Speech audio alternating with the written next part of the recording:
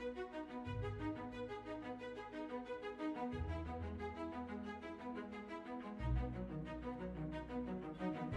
you.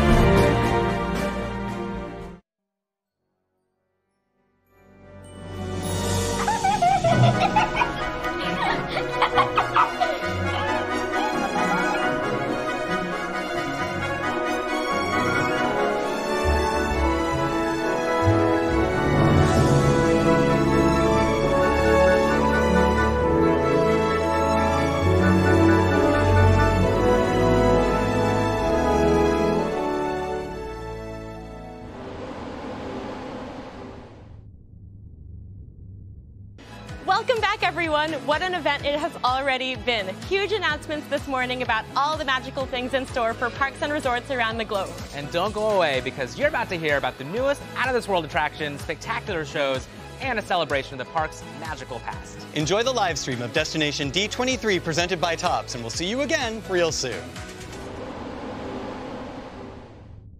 On the move to ride or to hike wherever you like to. Thrill to this beautiful land. Ah, is everybody happy? You'll see what living can be. It's fun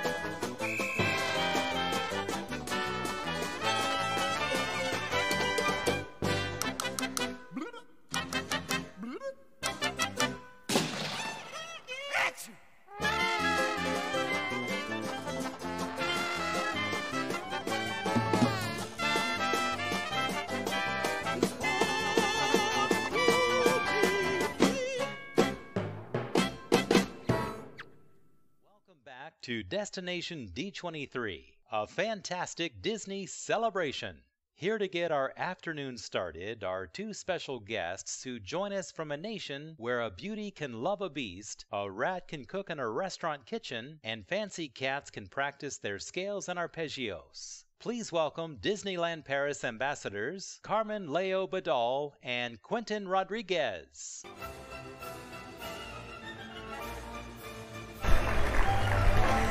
Bonjour. Bonjour, everyone. Bonjour. Pardon my voice, I haven't really got used to the AC in Florida.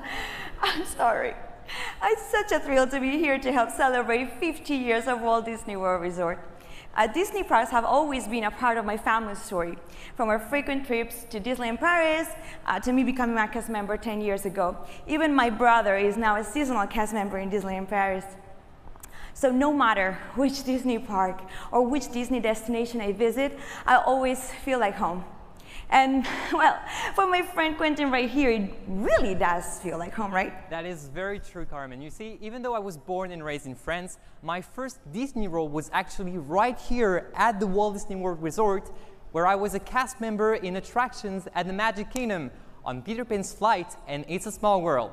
I then wrapped up my engineering studies and joined the show and ride engineering team back at Disneyland Paris, where coincidentally enough, I became the engineer in charge of, you guessed it, Peter Pan's Flight.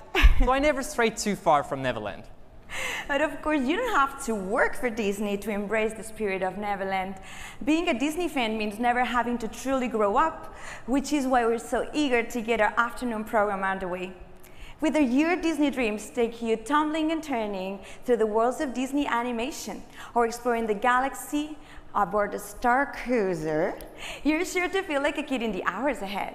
And there's a lot more. More trivia, more time traveling, more artwork. We really have a lot on tap for you all. So thank you very much for being here and for keeping those face coverings on your mouth and nose. We know it's not ideal, but it allows us to be all together.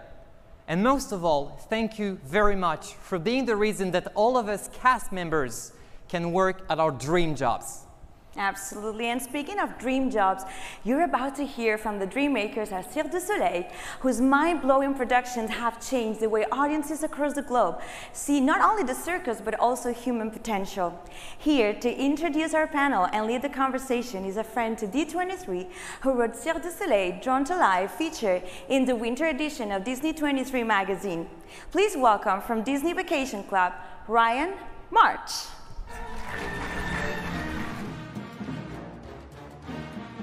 You. Hi, everybody. Thank you so much. So, when I wrote that feature about Drawn to Life in Disney 23 magazine, it was a bit of a time warp for me because I fondly and vividly remember sitting in that Cirque du Soleil theater at a press preview just a few days before the originally planned opening of the show in early March of 2020. Some stuff happened in the world since then, of course, and added a couple of extra years of anticipation to the show.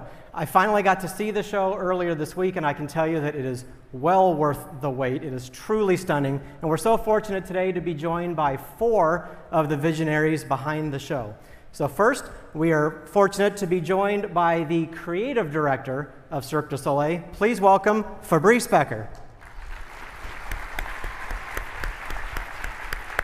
Welcome. Also with us is the writer and director of Drawn to Life, Michel Laprise.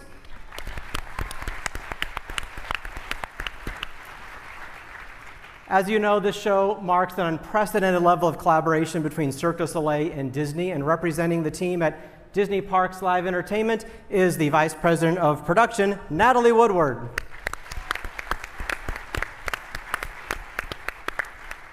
And rounding out our panel is an absolute giant of Disney animation. His work is legendary for the genie in Aladdin, but he is equally acclaimed for his work on everything from Hercules to Pocahontas and from The Princess and the Frog to Moana.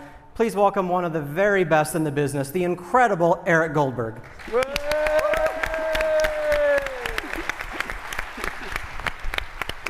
Have a seat.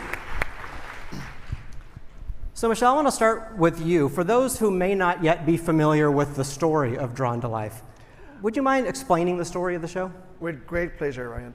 Um, so you're going to see some pictures here. And uh, as you can see, this whole creation process was based on friendship and collaboration.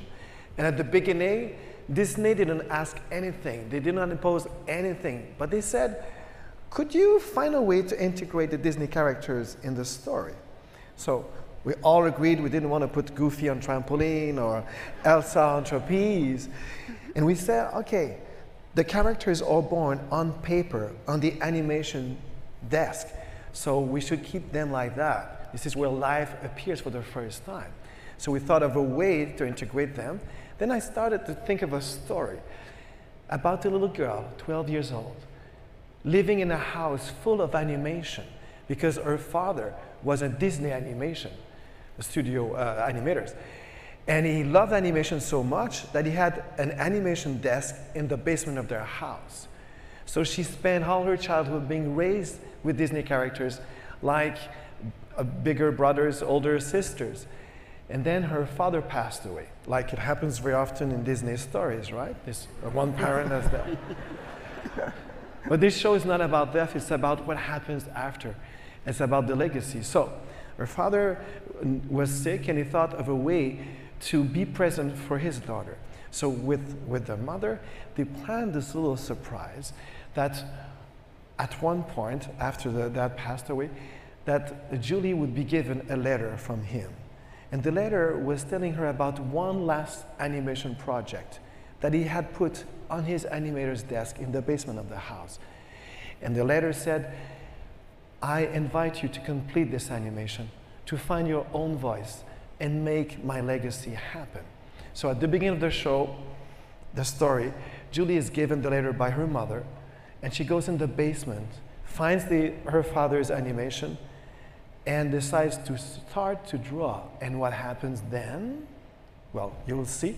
what happens then is something magical on the animation desk uh, uh, becomes really luminous, and Julie dives in just like Alice in Wonderland goes into the rabbit hole and she lands on the giant version of her father's animation desk and then she goes into a journey.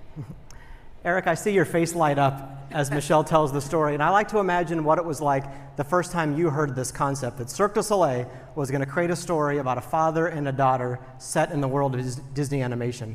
As someone who's dedicated your life to that craft as a longtime Cirque du Soleil fan, and like me, as a father with daughters. How did you react the first time you heard this, and just how eager were you to get involved? I think they had to pry me off of Michel's leg. I was so eager to get involved. Um, you know, the story really resonated with me, and I'm happy to say my daughter Jenny is here today, and uh, she's part of the inspiration for the things that our animation team brought to this project. You know, the fact that we had an artistic household my wife Susan is an art director. Our other daughter Rachel designs jewelry and costumes, and Jenny is an art director and character designer. So, you know, we're all kind of interconnected artistically, but our daughters have found their own artistic voices as well. And that's thrilling to me. And the fact that Michel came up with this story about a father and a daughter it just grabbed me, absolutely grabbed me, and I, I, I had to be involved. Speaking of that involvement, you assembled kind of the Avengers of animation, this animators trust, and Eric was one of many titans of the industry. We also have names like John Musker and Ron, Ron Clements. Clemens and Paul Briggs, and names and creations that are well known by this audience. Tell me about that collaboration. How was that for you? You're actually seeing some of the pictures of those uh, encounters that First, before answering your question, I think we wanted to touch uh, the hearts of our future audiences, talking about the legacy of the world of animation. But in order to do that, we had to touch the hearts of people that are actually expert in making animation. You know, people like Eric, like uh, Ron Clements, that you, what you just said, but also Mark Henn, uh, Randy Haycock. We, ha we had a uh, we had a table of people that we brought together in what you call the animator trust, but actually we were inspired by what Disney does. And uh, they, have set a, a, an, a, an, oceanic trust, uh, trust when they were doing a Moana movie. And we said, wow, it's very inspiring because they, they want to be authentic, they want to be genuinely true to what the culture is, and we had to do the same thing. So we set that, that, that trust. We're meeting once in a while and presenting the story, but what Michel and I really felt, uh, we felt a lot of respect in our own process. We had a kind of a white page in our creative process, but we felt a lot of uh, respect in a different way of uh, organizing a creative process. Uh, they were there to challenge us. They were there to support, uh, to you know poke us and say, okay, did you think about this? And we felt you know around the table we were artists talking to artists. So it was very natural, and it, we, we, really felt a, a deep connection. Uh, people coming from a circus background and people working in the world of animation. So it has been a blessing. Yeah. Natalie, your team is certainly no stranger to collaborating with the animation studio. You do it for stage shows and parades and nighttime spectaculars, but never to this degree of collaboration with the team at Cirque du Soleil. What impressed you most about the Cirque team during this process? And you're right. We've had the opportunity to collaborate with the animation studios um, many times on parades and shows and spectaculars, et cetera. But um, this, this was like no other project I've been a part of. And I loved when we would go through different milestone reviews or creative reviews I, it was so impressive just to watch how they took the vehicle of storytelling of the animation process and, and made a story out of this. And, um, and then the layering of when we were introduced to the acts and then got to see the acts up close. I mean, every, every part of this process was, was just magical. Yeah. Now, speaking of process, Eric, in addition to being a creative consultant on the show, you actually created a lot of custom animation for some of its most memorable sequences. I'd love you to take us through some of that because unlike an animated film that plays out on a flat screen, this is presented in three dimensions on a stage that's what, 270 degrees Absolutely. in the round, which means what you're creating has to read to the audience no matter where they're viewing it from. That, you could take us through the sequence, I believe it's called the comforting sheets. Okay. talk us through that. All right. I, I brought a few show and tell things here first. And as you can see, this is uh, our character Julie, as she appears in the show, followed by a model sheet that her dad has made of her at age six. And this is the letter that Michel mentioned earlier that, that uh, you drew, Julie read. That you've done. and um, we wanted to go for a pencil test look. So we went with drawings and characters that show construction lines and numbers and in between charts and things like that to really get to the heart of what the animation is like. And one of the uh, great sequences is called the comforting sheets. Um, and this is a little piece of animatic here. I must have done this animatic about 12 times. And in fact, just a little factoid, the leader of this sequence used to be Jiminy Cricket, but then we yep. decided mm-hmm. to go with Baloo as our main ring, ringleader here. And what you'll see is kind of choppy drawings with Baloo trying to entice Julie to get out of the doldrums.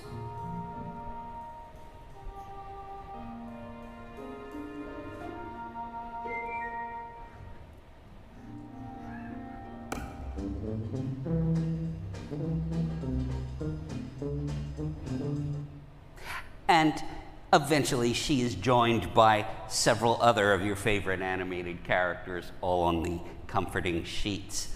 Uh, next up, this is a piece of actual pencil test animation that is in the show.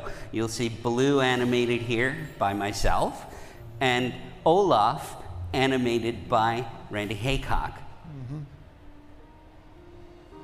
And of course, we have to time these things and stage them so it looks like they're all relating to one another in the three dimensional space.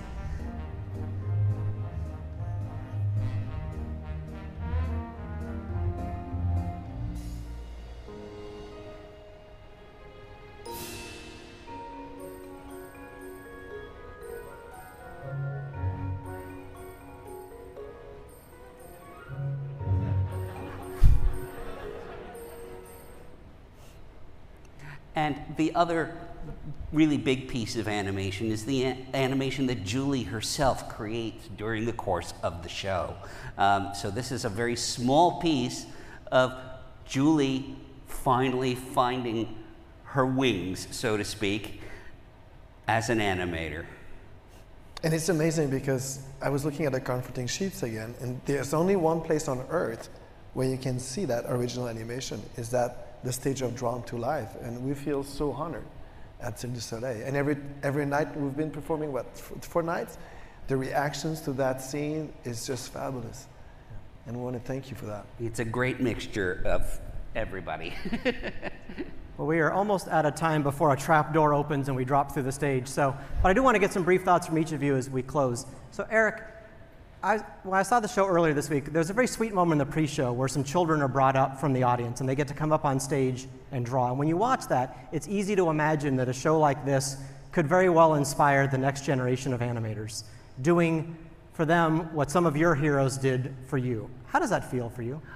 It's very humbling, frankly, that a show like this can actually maybe inspire future animators. And I know how inspired I was, like you say, by all my animation heroes.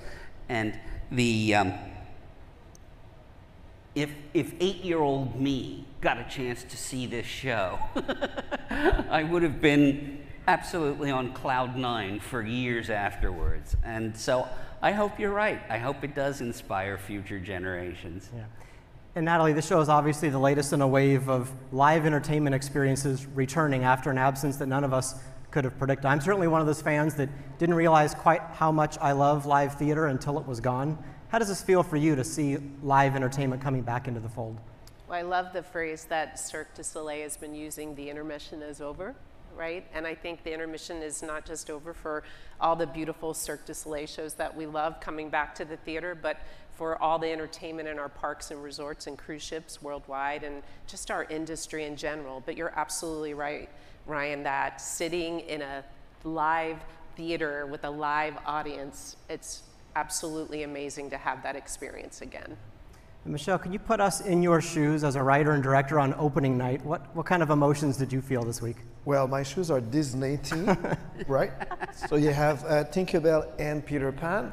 It was amazing, I think, because we were ready.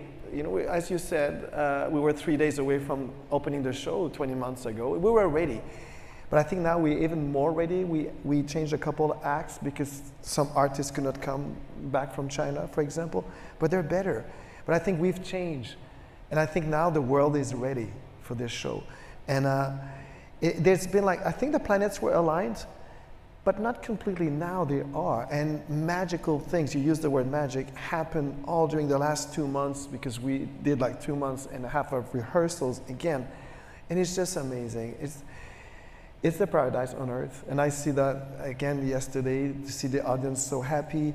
And you know, at the beginning we said we want to make a love letter to the art of animation. It's not two brands coming together, it's people. People who are passionate about their art. And there's one thing we notice is that animators are such generous people. Because today, to make one second of animation, you need to do 24 amazing drawings that are really alive, the illusion of life, to borrow from the Nine Old Men. And so this is very similar to an acrobat who works from age five, training every day to polish one movement. And this is all based on what? On love for the audience. So it's not ego based, it's from the heart. And it's been a tremendous, inspiring journey. And as, as you saw in the pictures, it was just a lot of fun. Yeah. And we, we hope you come and see it many times. We know some people were in the audience yesterday. yeah? so it's your show now. We created it. And uh, the cast and crew are super excited to see you every night. And finally, Fabrice, when I interviewed you for Disney 23 magazine, you talked a lot about this audience. Mm-hmm. And you talked about how excited you were for an audience with this level of Disney knowledge and passion to experience the show. And having now seen it, I fully understand what you're talking about. Whether you're seeing Mary Blair concept art animated for the first time, or you're seeing a set that looks very much like a multiplane camera turned on its end. There are moments in the show that only an audience like this is going to appreciate at that level. Can you talk about how excited you are for everybody here to see the show? Absolutely. When we were at D23 two years ago in, in Anaheim, you said, you know, we want to make that crowd proud of what will, uh, they will see in, uh, in Drawn to Life.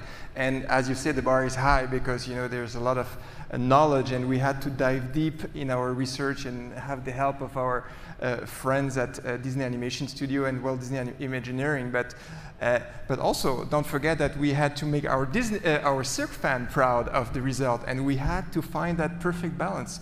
So I think uh, the, the, D23 fans will absolutely uh, get all the level of details that we've been, uh, been putting in, in the storyline, but also the props, the set, uh, the choice of music, how Benoit Jutras, our composer, weaved in some uh, iconic melodies in an original score. All those details I think you will appreciate and uh, hopefully be proud of, uh, of what you'll be seeing. It truly is extraordinary. I can't recommend this show enough.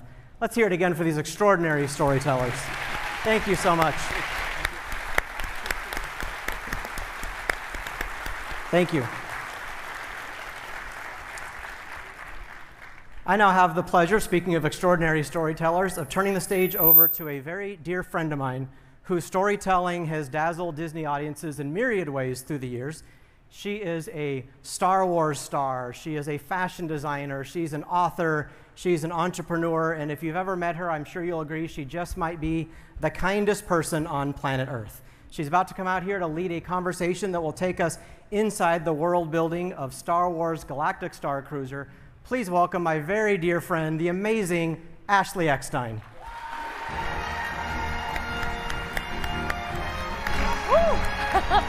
Thank you, Ryan. Thank you. Oh, hello, everyone. Oh, the force is strong with Destination D23, right? Don't mind me as I completely geek out and my replica Padme cloak that you can get exclusively on the Star Wars Galactic Star Cruiser. And how about that lightsaber today that Josh displayed on stage? It's real. okay, well, you know, my name's Ashley Eckstein. You may know me as the voice of Ahsoka Tano from Star Wars or the founder of her universe. Thank you. But today, I'm just like you. I am a massive Star Wars fan, and I'm completely geeking out about Star Wars Galactic Star Cruiser because last week I got a sneak peek. And my mind is truly blown. And trust me, throw out all of your preconceptions of what you thought this was because this is way cooler than anything you can even imagine. It's an immersive vacation experience, unlike anything that exists today. But you know what? You don't want to listen to me talk about it anymore because we have an amazing panel of Disney Imagineers and executives that are going to tell us all about it. So please help me welcome with a huge round of applause for our, our entire panel, Wendy Anderson, Executive Creative Director of Walt Disney Imagineering. We have Sarah Thatcher, Senior R&D Imagineer, Walt Disney Imagineering. We have Anisha Deshmani, Assistant Producer of Walt Disney Imagineering.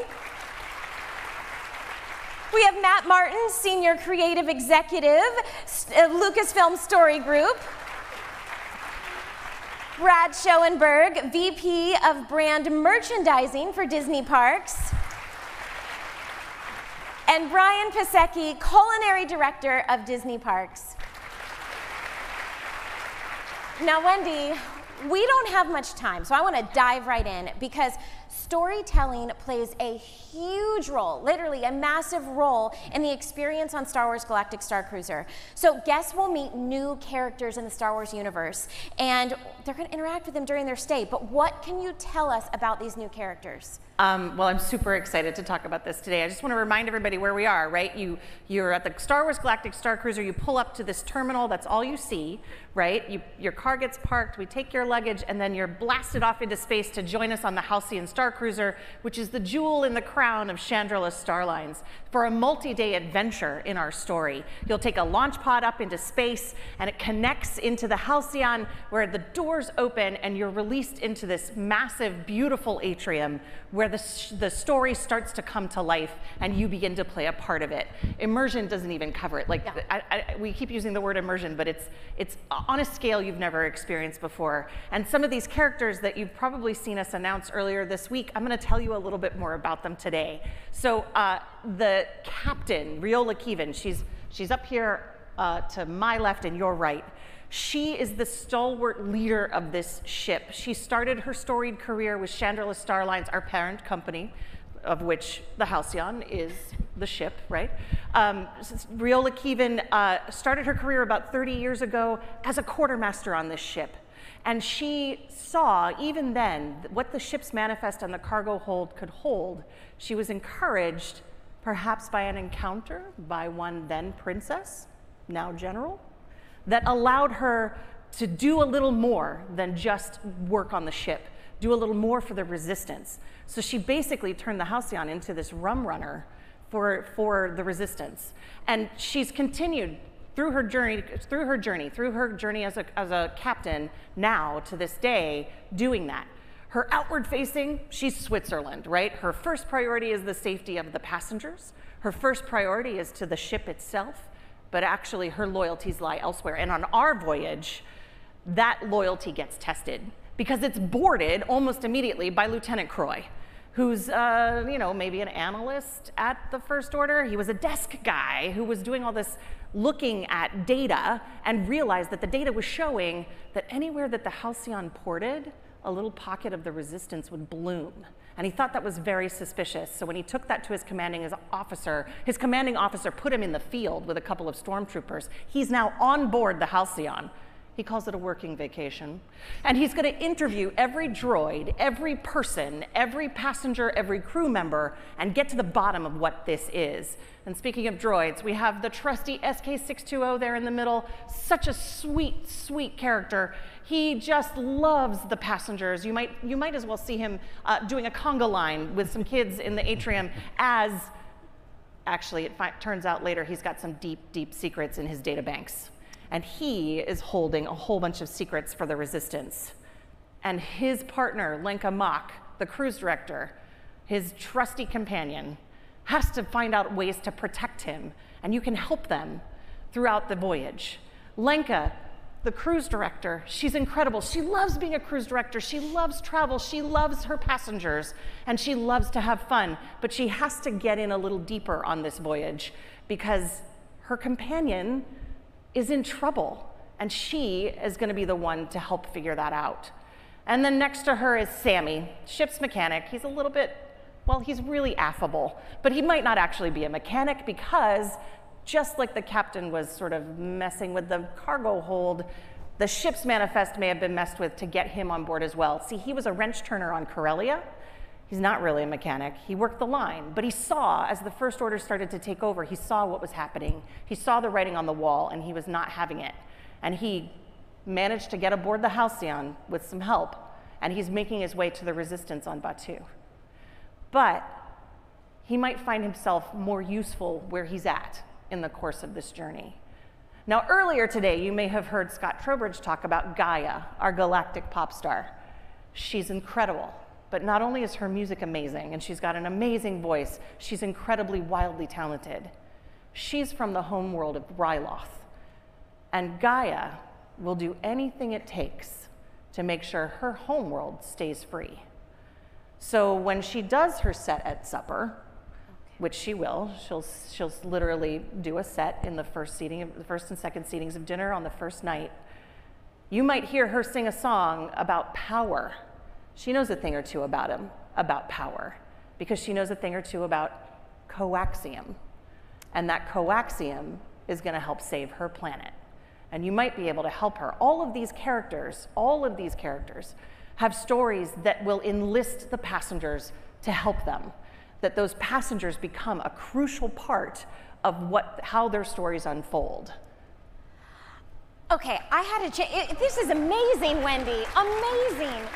Because, you know, after my sneak peek last week, the part that blew my mind is that it's not just like a show that you watch when you're at dinner you are a part of the storytelling for two whole days.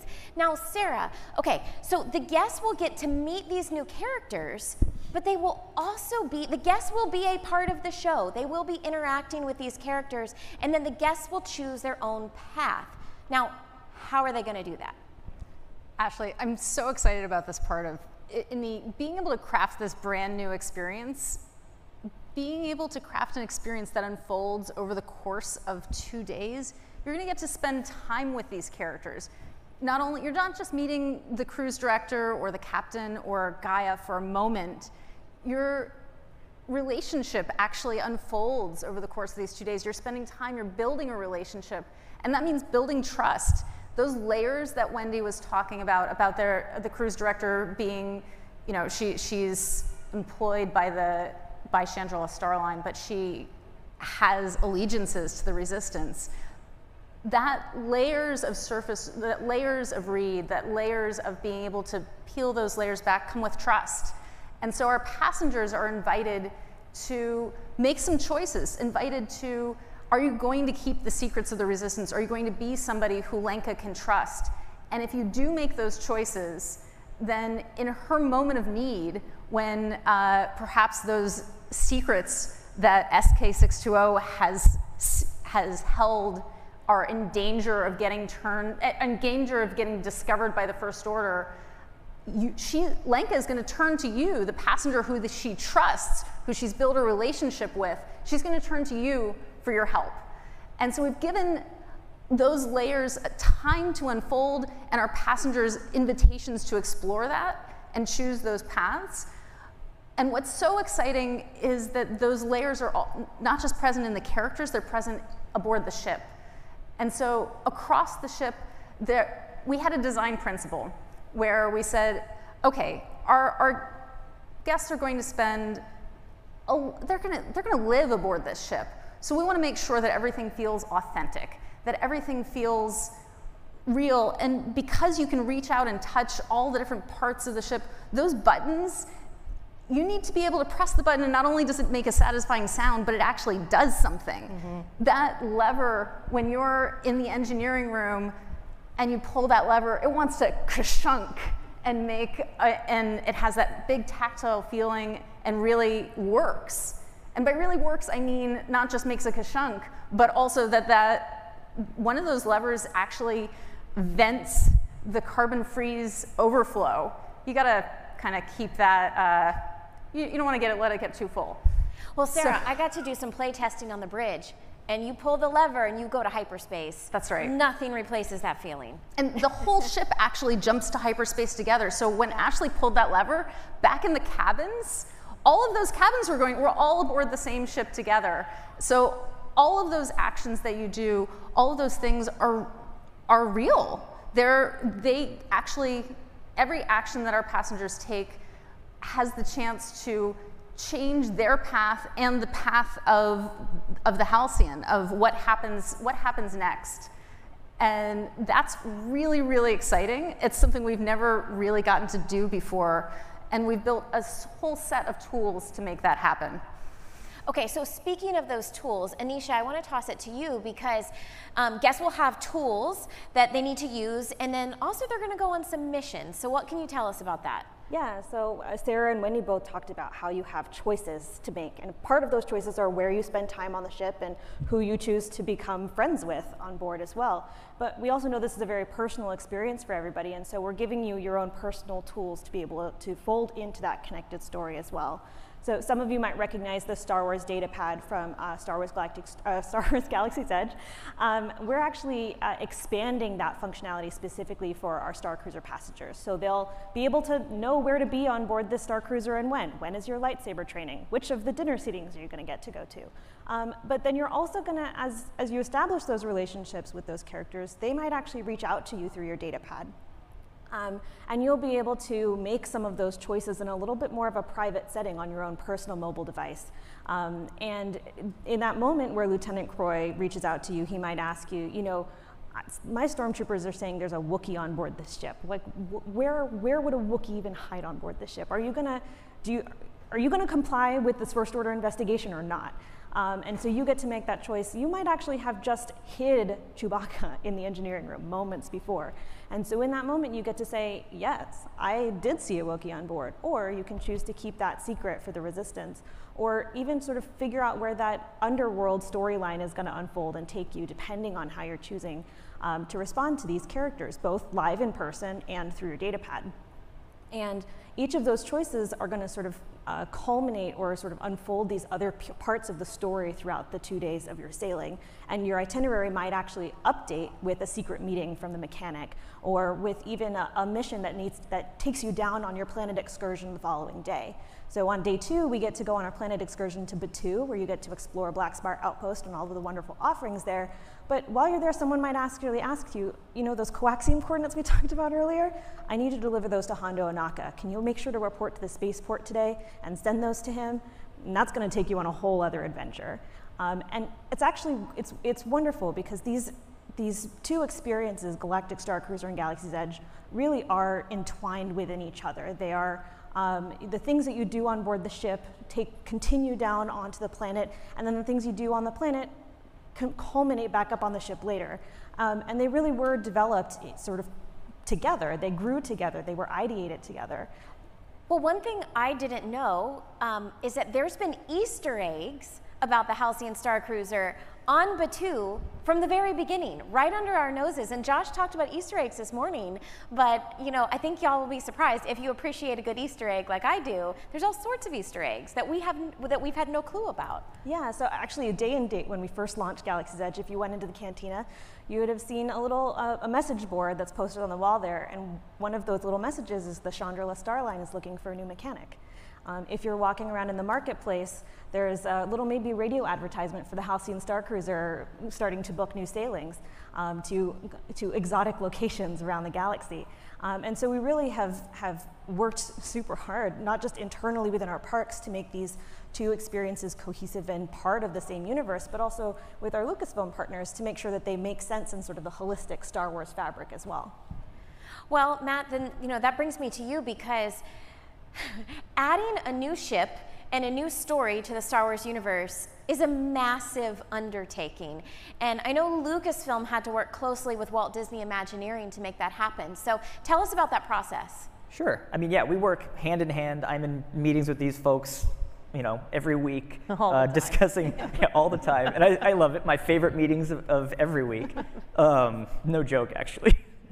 Um, and yeah, we work hand in hand to come up with a story that is both an authentic story within the, the Disney parks experience, but also within the wider Star Wars storytelling. And then uh, we actually continue and take that story and find ways to expand upon it in other media that we have access to as Star Wars. Okay, so take us back though to the history of Chandrila Starlines and the Halcyon Star Cruiser. Sure. So it all starts with a Anzellan named Shug Drabor um, during the High Republic, which was a, you know, a few, few centuries before the events of the films. Uh, Shug was an engineer on Corellia working on the shipyards. Uh, eventually, he transferred to uh, Chandrila to work on the luxury ships there. Um, while he was there, he fixed up his own ship and began, you know, kind of transporting his fellow workers, you know, throughout the core, and founded the Chandrila Charter Company. Um, through that, he kept building and building. Eventually, he was able to construct the, the very glamorous ship, the Halcyon, uh, hoping to kind of take passengers through a, a you know, luxurious journey across the galaxy. Um, and that's kind of how we get to the, the Chandrila Starline that we know today. Okay, so can you tell us about some of the adventures that have occurred on the Halcyon? Sure. Um, so fans of the High Republic may be aware of the Starlight Beacon. Uh, it's a big uh, kind of space station that was created to help connect the, uh, the Republic to the frontier worlds in the Outer Rim. And it was actually the destination of one of the Halcyon's earlier, earlier voyages. And it's a good thing that they were there because uh, there was a system malfunction on the Starlight, and the Halcyon actually helped transport the, uh, the Starlight to a world in need. Um, not long after that, a Jedi Padawan named Burryaga um, and his master Nib Assek um, were actually on board, and they helped thwart a plot by the Nihil Raiders uh, to try to take down the Halcyon. Okay, so what about the film era? Did anything happen during the prequel era? Yeah, um, just a little bit before the Phantom Menace, um, the uh, the Halcyon was kind of like a, a, casino ship run by the Hutts, and during that time, um, the bounty hunters uh, Aurra Sing and Zam Wesell were on board, and they were kind of working protection for a uh, you know rich gambler. Um, not long after that, about a decade after that, during the Clone Wars, uh, Padme Amidala and um, Anakin Skywalker, who I think you're pretty familiar with. Uh, was Ahsoka on there too? Ahsoka was not on there. They were trying to have a romantic time, I'm sure. Uh, but they were on board actually trying to uncover a cons conspiracy with a Republic senator and a separatist plot. See, I'm fascinated about this. We got a chance to rehearse backstage, and Matt just casually dropped that Padme and you know Anakin were on the Halcyon, and I like gasped. I'm like, I need to know more right now. Um, okay, so what about the original trilogy? Any advent adventures happen there? Yeah, definitely. Um, so after the fall of the Republic, the Halcyon became under Imperial control and it was sort of used as like a retreat for you know really high-ranking imperial officers, bureaucrats, things like that. And um, during that time, uh, Lando and Hondo actually uh, performed a little bit of a heist to, uh, to liberate some priceless jewels from the Imperials there on the ship. Um, and then, actually, not too long after that, after the fall of the Empire, the, the Halcyon came right back to Shug's descendants, and uh, Chandrila Starline was created. And it was actually the home of the, the kind of honeymoon for a very special uh, Star Wars couple. Now, these stories don't just happen on the ship, right? Like fans can read about them outside of the ship. Definitely. So some of the art that we've seen here is from Marvel Comics' uh, Halcyon Legacy, which tells a lot about the history that I've spoken to, um, as well as we're going to see some of the events turn up in the big High Republic storytelling initiative that we're working on. Um, starting in January, the, the first Halcyon-related story will come out. And then um, we'll, we'll continue it. There's the, the little nugget that I dropped about that special couple will, will come to play in another uh, story uh, to be seen in probably a year or two. All right, well, I will meet you backstage where I will have more questions. you, know, you know I'm well trained to not tell you anything. you will tell me what happens. All right, so Brad, I want to toss it to you because the storytelling about Chandrila Starlines and the Halcyon Star Cruiser continues through the merchandise, and you have been so kind to let me wear some of it today. I'm gonna, let's see, take off my cloak here because I have a beautiful Chandrila Starline shirt and exclusive jewelry pieces that I'm wearing, and you're wearing one of the t-shirts as well. Yeah. So what can you tell us about the merchandise? Well, bringing this merchandise to life has been so much fun for myself and the team that works on this. We had the pleasure of bringing Galaxy's Edge to life, but this really lets you dive into the finer side of life in the Star Wars galaxy. We took inspiration from a lot of the, the content. We have the benefit of so much great resources, so we looked back at the prequel era. We looked at Dryden Voss's yacht from Solo, a Star Wars story. We also looked at Canto Bight. And really, when the, we see those moments where guests are dressing up, they're having fun, how do we get inspired by some of that for our product? So the unique thing about the ship is that it gives us a whole nother piece of that world. So our uh, final piece of inspiration was, of course, the ship and the experience itself. But this is unlike anything else because you, if you choose to be, are part of this story. So you can also come up with your own backstory. Who are you? Where are you from? What are you thinking about this whole experience?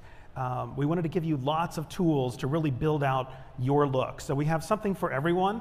Um, I call this the best fashion in the galaxy, but this is the ultimate role play, really. And the, the cloak that Ashley was wearing is a perfect example of where we went back to the legacy archives at Skywalker Ranch. We pulled Amidala's cloak. We looked at the fabrication. We got copies of the, the patterns. It is the most realistic, and I've held the original one. It is the most realistic um, piece that we've ever been able to bring out to, to our fans. There's also pieces that are for the kids. They're inspired by a lot of the characters you meet on the ship. So your saber trainer, your captain, your engineer. What are all those role play pieces that you can really build for yourself? Each one comes with layers of customization, and Ashley's jewelry is a great uh, picture of that where depending on how you choose to accessorize it, how you choose to wear it, you can really make it your own and really build it into whatever character or story you're bringing to life. Of course, we are on the, the Halcyon from the Chandrila Star Line. Um, we have a logo line. So any cruise I've ever been on, I get excited to go to the boutique and check out what they have that's unique to that ship and that experience. So we have a whole line of product, again, something for everyone in the family that really builds off the ship as really the hero of your experience, but things that really feature into our CSL logos and our Halcyon. So very exciting there. And of course, the experience you have on the ship is like nothing else we've ever been able to bring to fans for the Star Wars world. Um, the ship is the hero, so we have the model you see here that comes with lights um, that really brings it to life. But then we also see pieces that you experience while you're there, like your time in the cantinas. This is some of our drinkware, bottle stopper, um, some of the coasters, coaster pieces here, all on the kind of finer side of Star Wars. And that's really not all. Um, got limited time today, so I couldn't bring you everything, but so excited to share more as we move forward. That's just a glimpse at the merchandise. Well, when I walked on for my sneak peek last week, Brad can attest, I walked into the store and saw the Togruta headtails. Mm and gasp, like my jaw dropped to the floor.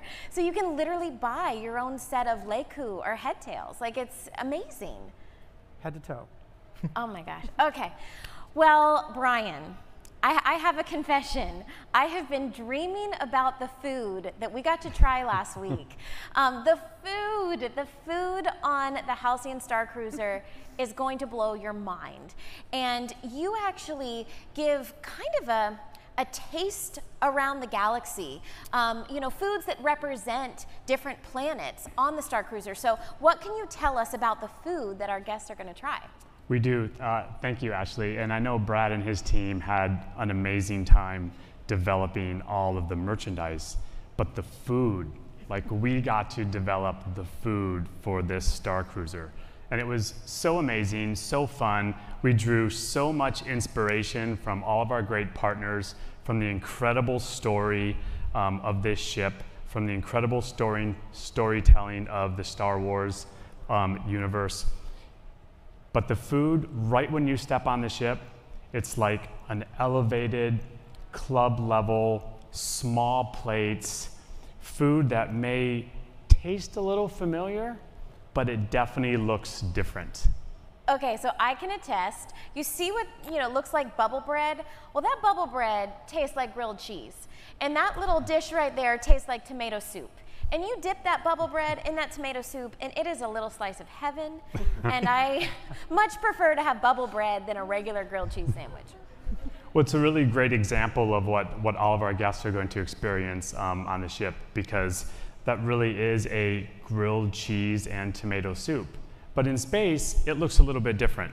So some of the items that you'll see there, um, the colors are very, very uh, vibrant. Um, the flavors are super intense. And again, everything will look a little bit different than what you think it will, what it should look like, but the flavors will be extremely familiar. And we have that small plate experience for lunch and for breakfast. But as you get into dinner, that first night experience where you have that entertainment experience with Gaya and you're interacting with Gaya, we have these incredible uh, bento presentations with fresh, crisp vegetables and these steam filled seared buns with all these dipping sauces. You're getting hungry, I, aren't no, you? I, we've been, we were backstage going, Brian, can we eat now? Like, come on, what is, what is going on? Yeah, this is amazing. It's so. So they are also like really ready to eat all of this food. Yes. Um, very customizable, sharing, friendly, um, recognizable food. And then we get into the second evening, and this is really what Ashley was talking about about tasting around the galaxy.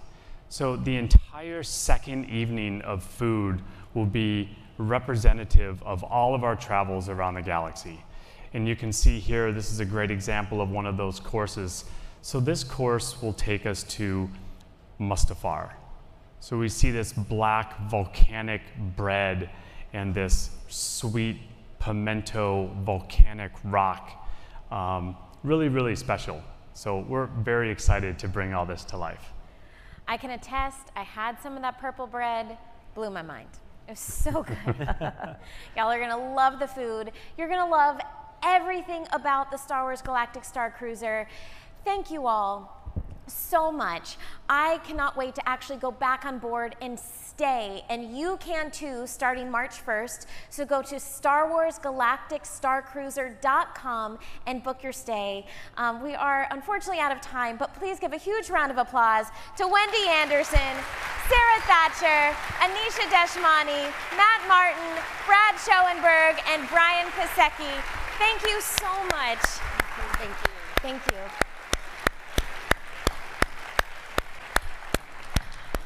All right, well, in the meantime, I am really excited to hear from our next guest, whose live entertainment productions are among the can't miss experiences of the world's most magical celebration.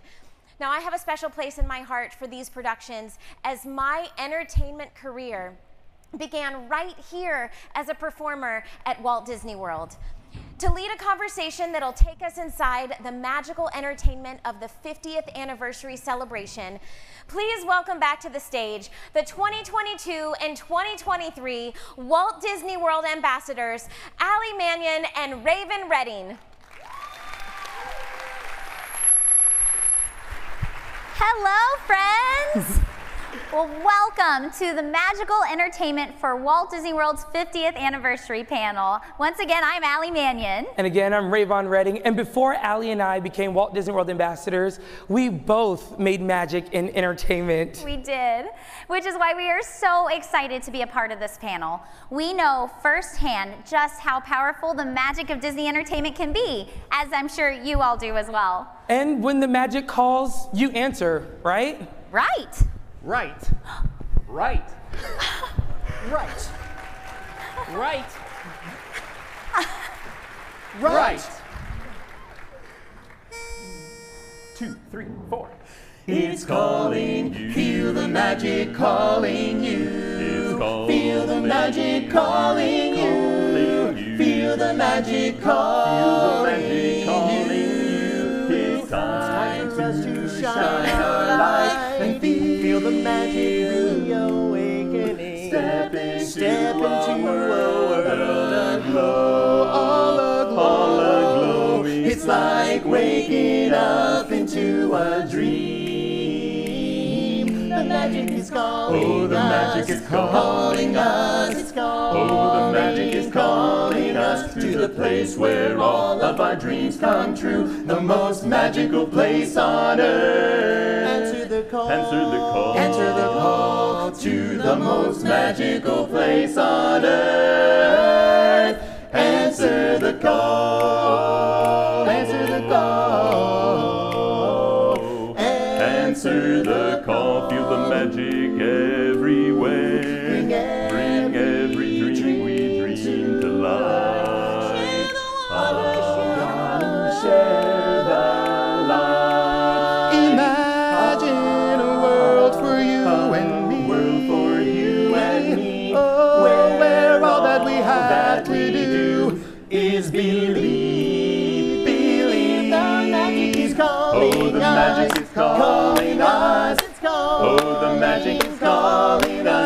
Place where all of our dreams come true. The most magical place on place on earth. Answer the call. Come on, the magic is calling us to the most magical place on earth. Answer the call.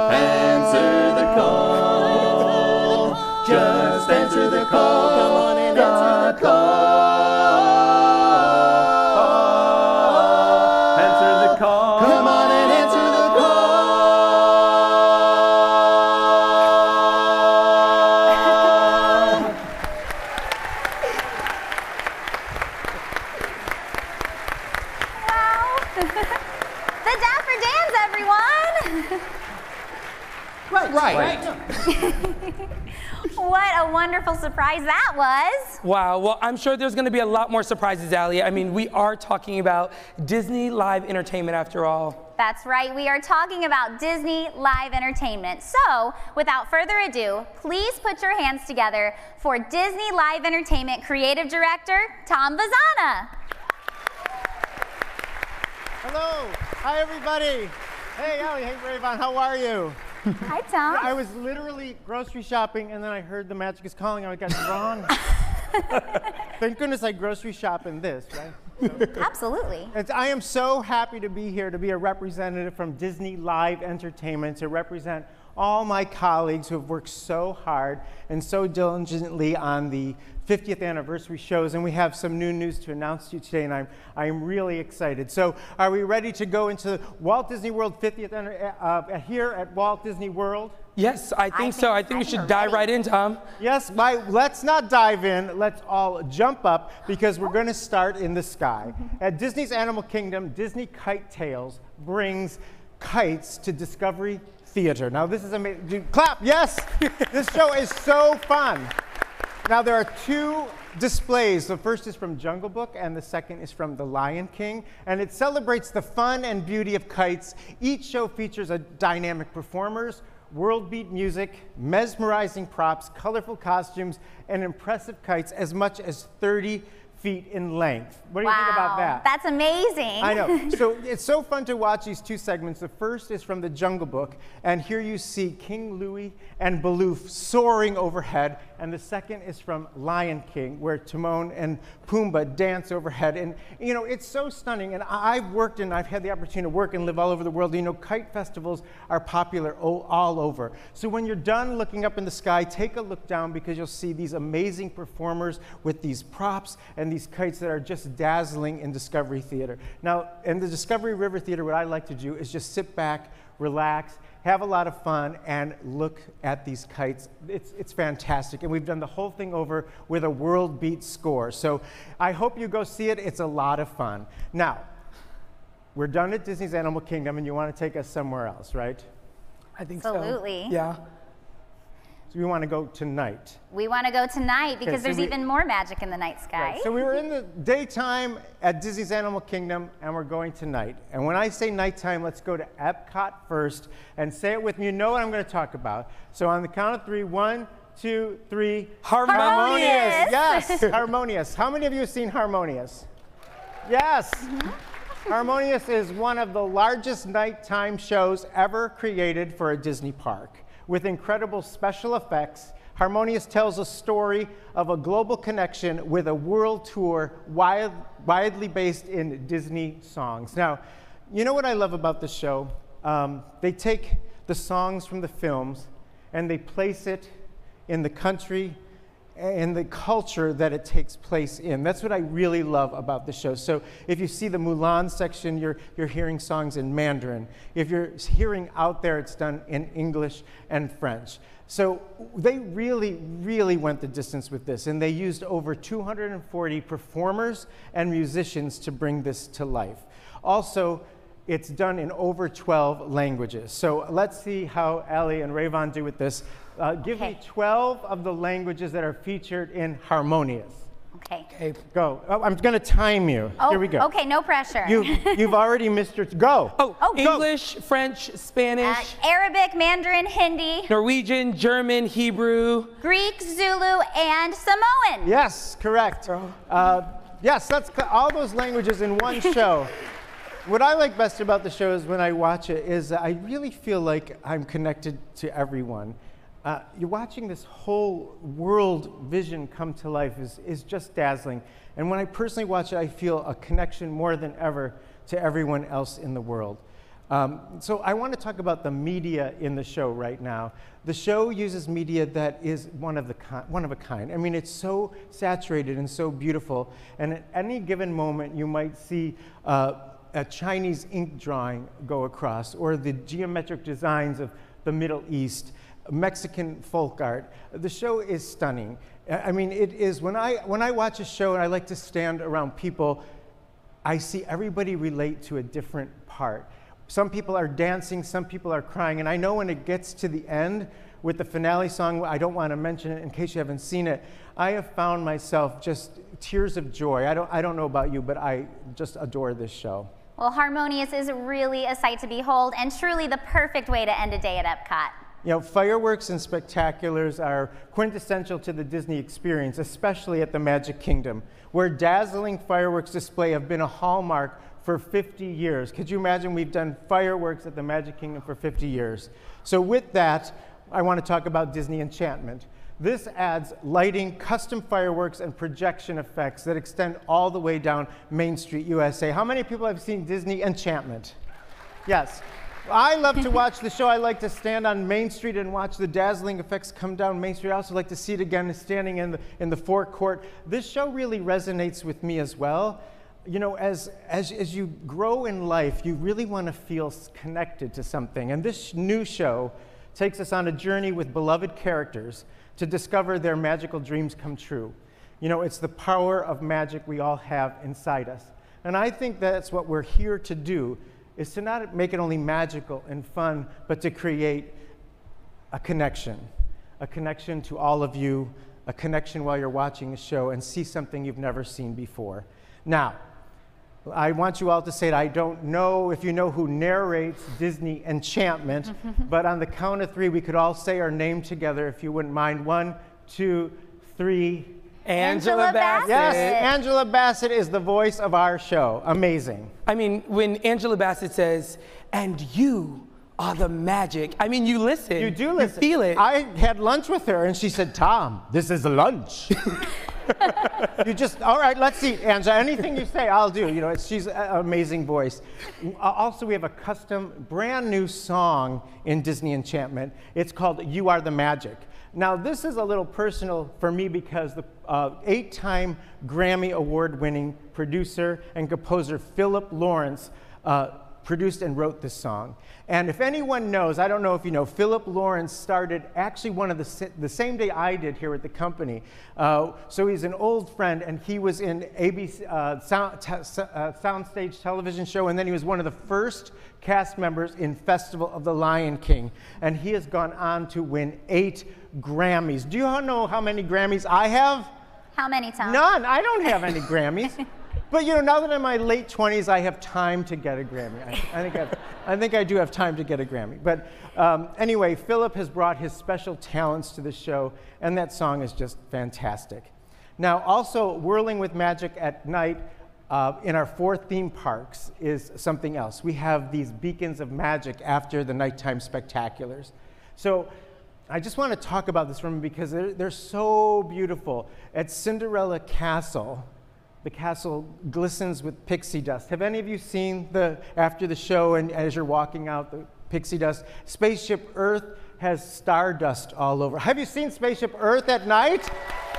I mean, think about Disney Live Entertainment doing all this with our WDI partners, all that. What a beautiful, beautiful celebration. Um, Disney's Hollywood stu- Studios, the Hollywood Tower Hotel, shimmers with, uh, let's see, the golden age of Hollywood is the best way to say. Have you seen that one? That one's beautiful. And now we go to Disney's Animal Kingdom, and gee, this one's beautiful. I just, I just love standing in front of it. Um, it seems like it's just glowing with, I think, fireflies is the word. Have you seen Disney Animal Kingdom's Firefly? The Tree of Life, all of those are beautifully iridescent at night. Um, speaking of iridescent, we also have given our characters a whole new outfit. We call it iridescence. Have you seen that? Those I have a whole suit of it, and I was going to wear it today, but the extension cord just it unplugged, so I changed into it. Um, the iridescence is beautiful, and you can see our characters in the iridescent outfits in the Mickey's uh, celebration cavalcade at the Magic Kingdom, and they're going to drop in and say hi to you during along that cavalcade and also during the celebration. This one is kind of special to me, so I did work a little bit on this. I want to talk about the water pageant that takes place at night outside the Magic Kingdom and resorts. You know, the, the water pageant's been around for 50 years, right? It's, it's it's iconic to the Magic Kingdom and our resorts, and we gave it a 50th overlay. So when you see the electric water pageant, uh, there's a slide up now. We gave it, it starts with a 50th and the Magic is Calling song, which you just heard. But if you know the water pageant, it starts with this electronica sound. Uh, and we match that sound with the Magic is Calling to open up this pageant. I, I'm really proud of that pageant, and please take a look at it next time you're visiting us in the park. Now, that's not all some new things happening. Um, Mickey Mouse is welcoming our guests backstage again at the Town Square Theater. Yes? Isn't that awesome? Also, we have Disney princesses appearing at, Disney, at Princess Fairy Tale Hall in the Magic Kingdom. And I am here to announce, I have to say, actually, fresh from rehearsal because we've been working on it, we are bringing back Indiana Jones Stunt Spectacular in December. All right, yes. I, I can't wait for you to all come and see us at Disney's Hollywood Studios with Indiana Jones. It, he's still, you know, Indiana Jones never loses his hat. His hat is on, and he's holding the golden idol, and I can't wait for you to see it. What do you think? It's, wow, Tom, it's just all so magical. yeah, I think so too. It is a magical celebration. Now, live entertainment is such a big part of what Walt Disney World brings, right? It's the world's most magical celebration. And we're thrilled to bring back many favorites alongside the debut of some all new experiences designed just for our 50th anniversary celebration. Well, I'm personally just so excited and happy that I can say hi to the one and only Mickey Mouse again. Man, I really wish I can go see him right now or oh. take a hop over to the monorail. Do you think we could? Well, you know Mickey is here, right? Mickey Mouse is in the building? M Mickey Mouse is in the building. Excuse uh -huh. me, I'm gonna go find him. Come on, Allie, let's wait, go. Right now? Wait, wait, wait, Rayvon. Frankly, I thought they'd never leave. let's give it up for Allie and Rayvon. I have known them such a long time, and uh, their career is amazing. And if there's anybody it's inspiring, it's those two, along with all of our ambassador team and our visiting ambassadors. Now, uh, it's so exciting that everyone's about uh, to hear about some more entertainment we have to offer, uh, causing even more excitement. Now, this one is, is also very special. We're reimagining Nemo the musical at Theater in the Wild. How many of you like Nemo the musical? It's amazing. Yep. So, to hear a little bit more about the reimagining of this musical, please welcome Disney Live Entertainment producer Jason Robinson. Jason's in the house. How are you, Jason? Outstanding. How are you? i I love that we're pretending not to know each other. Hello, Jason. I had to walk past your grocery cart back there. Yeah, I, ju I just let, there was BOGO. I had so much soup in there, I couldn't bring it up on stage. Uh, now, I'm really glad to have your company. Tell us a little bit about the reimagining of Nemo the musical. I'm so glad that you asked. I'm thrilled to share some details about the reimagined version of Finding Nemo the musical, which is, of course is coming to Theater in the Wild at Disney's Animal Kingdom. For starters, we have a name. Oh, we have a name. What is it? We are officially calling this new show Finding Nemo, the Big Blue and Beyond. That's it. Finding Nemo, the Big Blue and the what, people? Beyond! And this show will actually take place in the timeline of the film Finding Dory. Uh, when you take your seat in the theater, you'll actually be sitting down in the Marine Life Institute. All right, so we're seated in the theater, we're watching Nemo. Tell us about the fishy friends we're going to meet. I hope my favorites are there. Please tell us. Oh, I'm sure they are. As the show begins, we catch up with the gang from the fish from Dr. P. Sherman's office from Finding Nemo after they made their journey across the desert. They tell the story of Nemo and how they all got there, incorporating many of the beloved songs and production numbers that you know and love from the original show. So, beloved songs, that means some of my favorites will be there clearly, right? I, I hope so. You'll Okay. see a lot of your favorite characters from Finding Nemo, as well as those songs, so I'm sure you'll get a chance to sing along. I would love to. It's amazing. It's really amazing. I love that show because I love the seamlessness between the performer and the puppet, and all that magic will still be there, right? All that magic will still be there and more. All right. Ladies and gentlemen, we have a name. We have Jason Robinson, and we're announcing Finding Nemo, The Big, the Blue, and Beyond in 2022. Thank you, Right. Jason. Just keep swimming, everybody. Just, keep swimming. Just keep swimming. Don't, don't trip over my groceries. All right. Uh, oh, now I know it was announced by Josh a little earlier, but um, I have also a pet project I've been working on. Uh, a lot of colleagues in mine, I, I know you're interested to hear about. So I want to talk about Phantasmic. Yes? Returning to Disney's Hollywood Studios in 2022. So I, I can't tell you two specifics, but we, I've been working really hard on this with the team. I, all I, I want you to know that we're replacing a whole segment, okay? And in this segment will be characters that have never been in the show before. I'm really excited about this because it's surprising, it's delightful. It'll make you tingle, it'll make you cry, it'll make you soar.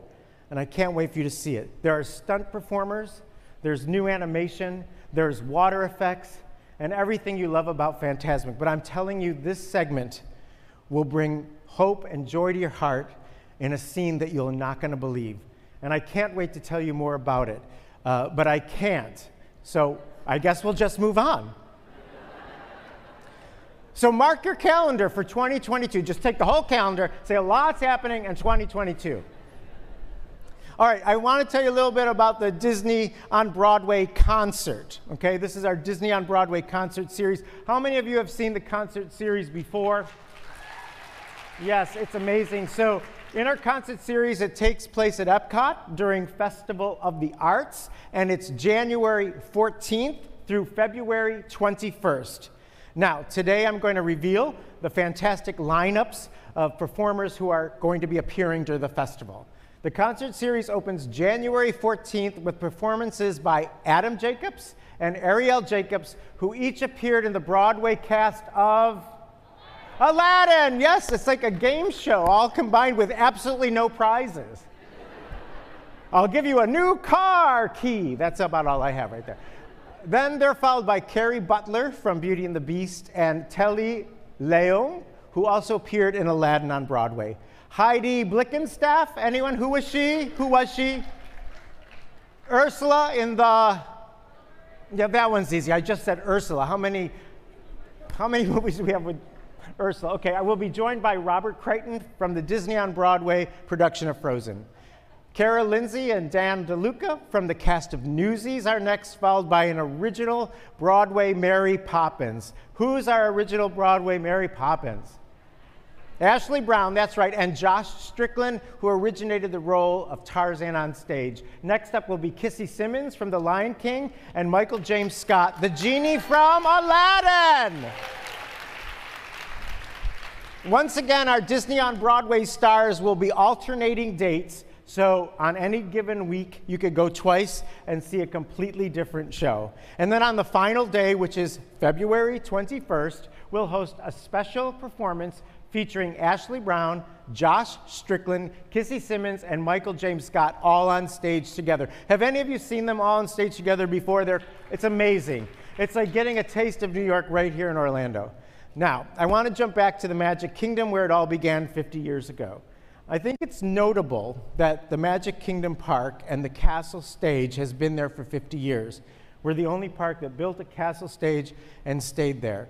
And speaking of that castle stage, over the 50 years, we've seen so many amazing shows put on by Disney Live Entertainment. And currently, there's a show there called Mickey's Royal Friendship Fair, Well, we're bringing that back, but we're making a change for the 50th celebration. So I want to help tell you about it with my colleague and dear friend, Tara Anderson, to tell us about this new show. Ladies and gentlemen, Tara Anderson. Or as I like to call her, Tara. Hello, Tara. Hello, Thomas. Uh, tell us about this show. So, Mickey's Royal Friendship Fair has Frozen in it, it has Tangled, it has Princess and the Frog, yes. and now has a 50th overlay. Tell us yes, about that. Yes, because we're going to be part of the world's most magical celebration. We are we have part. got a new name. We are now being called Mickey's Magical Friendship Fair because, as always, our show is about celebrating friendship and the wonderful things that it brings to our lives, right? So, for this new version, we have got a new opening number and a new finale. And to go along with those things, we have some new looks. So I think you guys are going to be the first ones to see these. Um, new looks for our dancers. Fabulous. You see them yes. on the screens, right? New designs. Those?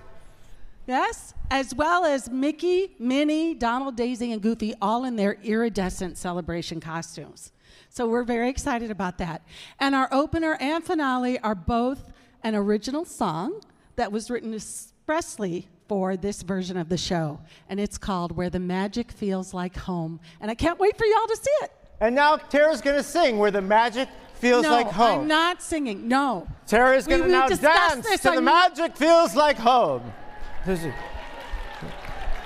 No. I don't know if you all remember last time I was here, I danced for you. Does anybody remember that? Nobody? Just my parents? Thanks. Thanks a lot for that. Thanks a lot for that. And, so and, I, and there's more. There's more. Tom. But wait, there, oh, you're moving me along like I'm holding up the along. show. Okay. Mickey's Magical Friendship Fair. It's going to be a wonderful audition, right? But is. audition, but we got to talk about our cavalcades. So, uh, tell, let's talk about that now. How many of you have seen our cavalcades that happen uh, randomly in the park uh, that just pop up, right? They're pretty great, right?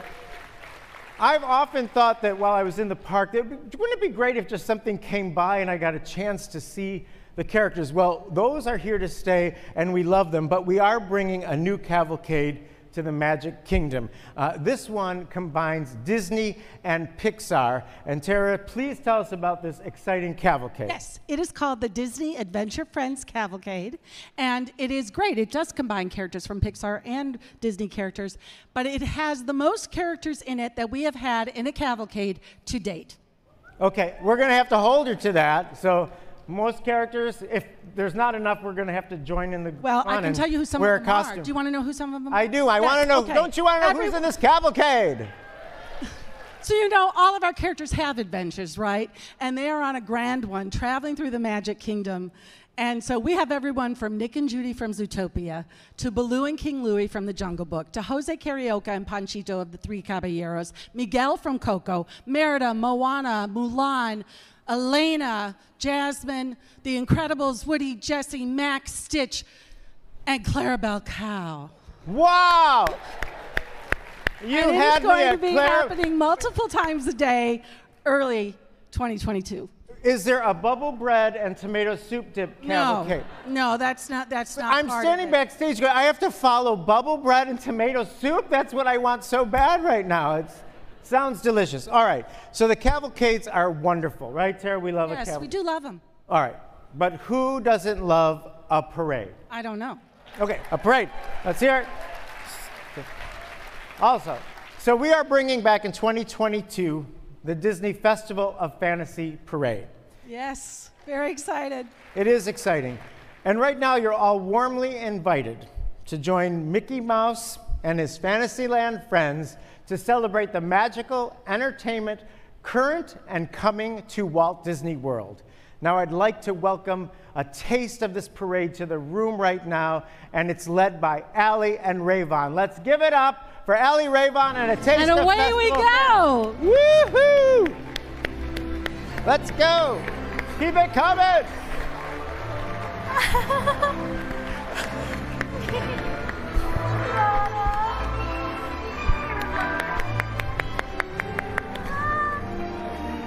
Hey, Mickey.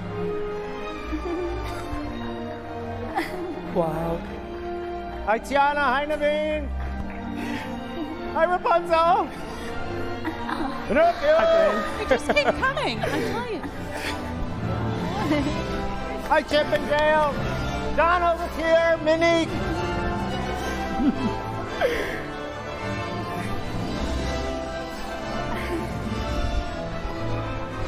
Thank you for joining us for the Disney Live Entertainment segment.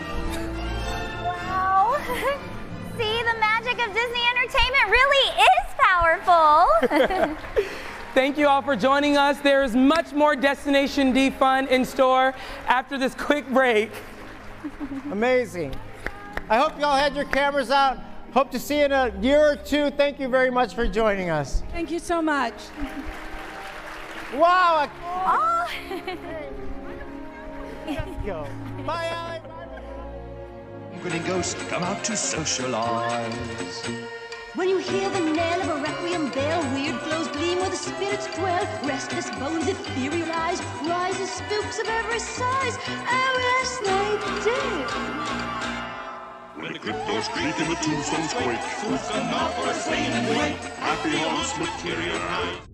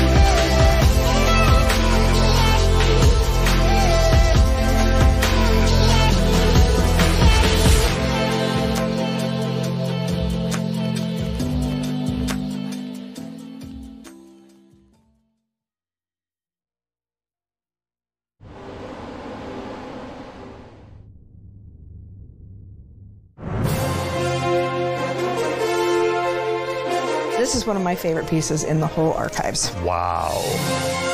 We've got warehouses full of historical Disney everything.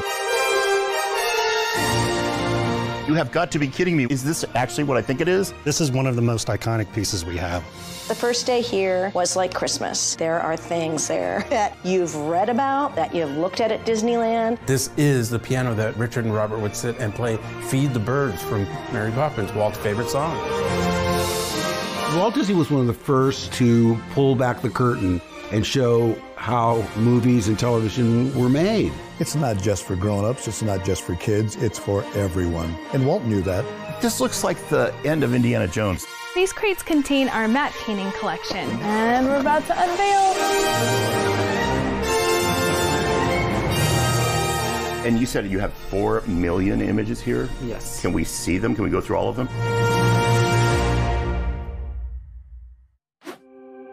Imagination. If you think it isn't important, think again. Look around and see all the awesome that imagination can spark. At Disney Imagination Campus, we believe imagination can create endless possibility. Through bold self expression and dynamic problem solving, we encourage students to look beyond what is and ask, what if? Because here, we value the entire creative process, from imagination to all of the innovation that it inspires. In collaboration with teachers, we're introducing students to something we call imagination powered learning.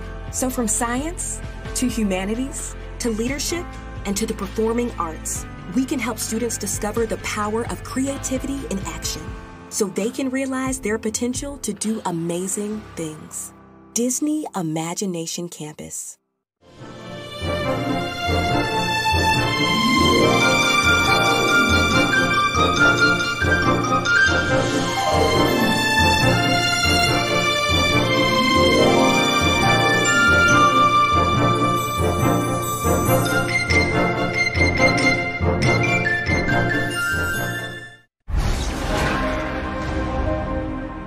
I'm about to share with you a secret. Not just any secret. The secret of the Eternals. I'm Sprite. The story of humanity is not as you know it. You were sent to guide you. We have always been here.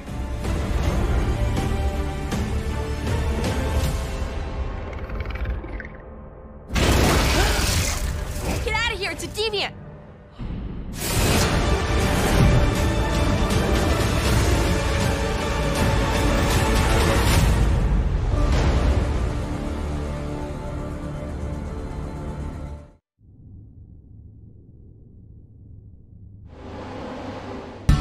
Time is coming for us to get out and go again, to visit all the places we didn't know meant so much. But we're all going at our own speed. At Enterprise, peace of mind starts with our complete clean pledge, curbside rentals, and low touch transactions. As more and more people hit the road, we're going the extra mile to help, connecting you to all the places you love. Enterprise.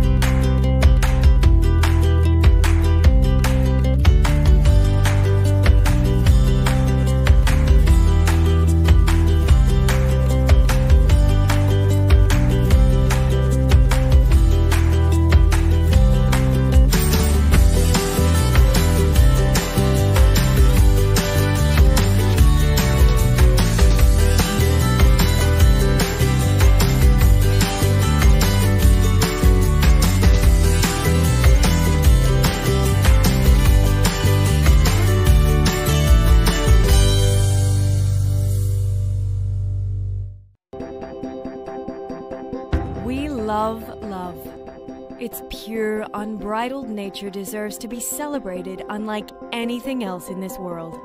And that's why we've worked our magic, bringing countless weddings to life for over three decades. Our passion is to discover new, creative ways to honor love stories. And because every couple is unique, we're devoted to finding ways to celebrate them that are just as special. When love takes your breath away, we'll find a breathtaking location to share your vows. And before getting lost in the moment, you'll discover Disney Service made it possible for you to be present. We even partner with designers to create wedding gowns and engagement rings with a touch of pixie dust. We celebrated real couples' love stories on Disney Plus and inspired truly magical ceremonies. Wherever and however past, present, and future love stories have been honored, whether an engagement, wedding, honeymoon, or vow renewal. For over 30 years, we've brought them to life in truly magical ways. And we love that there's so many more yet to be written.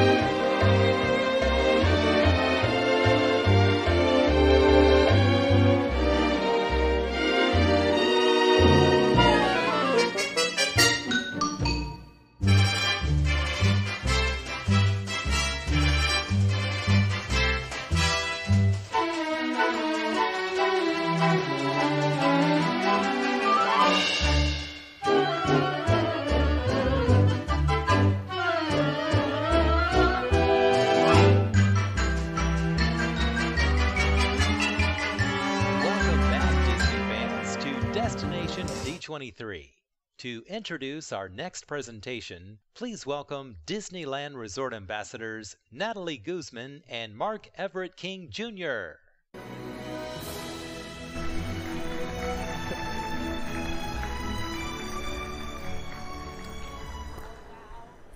We are so excited to be here with all of you. Can you hear me? No. Hello. Hey, hey, everyone. hear you. Yeah, they can. How are we doing? Woo! Yeah, let's go ahead and just if you bring it wanna hear in. me, Hello, everyone. How are we everyone. doing? Uh, we are so excited to be here with you today as part of this milestone celebration. Should we see if this works out? Yeah. Maybe? No, not quite. No worries. Here we There go. we go. There we are. We're always ready for anything. Yeah. How about now? Oh. Sweet. Well, we're so excited to be here with you. It has been a pleasure. My name is Mark, and I have been with the company for a while. I started off my journey here in parks. Um, and different segments of it, from attractions to food and beverage. And one of my favorite roles have been working as a test and adjust lead as an opening team member for Avengers Campus. And before I had the honor of becoming a Disneyland Resort ambassador, I was a VIP hostess on the guest relations team, which allowed me to experience the magic of the parks through guests' eyes every day. You are all the reason we cast members feel so fortunate to do what we do for a living, and I always jump at the opportunity to connect with Disney's biggest fans, which are you. And just like Natalie, um, you are the reason why us as cast members get to do what we do every single day because we get to serve the fans who inspire us every single day. And you inspire us even when you aren't with us. My social media feeds are filled with examples of fans creating their own Disney magic at home. And I've seen everything from kids creating their own jungle cruise in their living room to a dad building a full fledged Star Tours ride in his garage. It's incredible. And we aren't the only ones who've noticed your creativity. Our friends at Walt Disney Imagineering, for example, we're so inspired by fans' Disney DIY projects. Um, they cre- started creating uh, Disney paper parks on, the, on behalf, posting printable activity sheets um, to the Disney parks by allowing fans to create three-dimensional paper miniatures of everything from parade floats to Main Street USA buildings. Those cleverly designed activity sheets are the work of two talented Imagineers who happen to be with us today. So, to lead our next trivia challenge and to test your knowledge of the art and flair of Walt Disney World Resort, please welcome Disney Imagineers Stephanie Hasminas and Amy Young.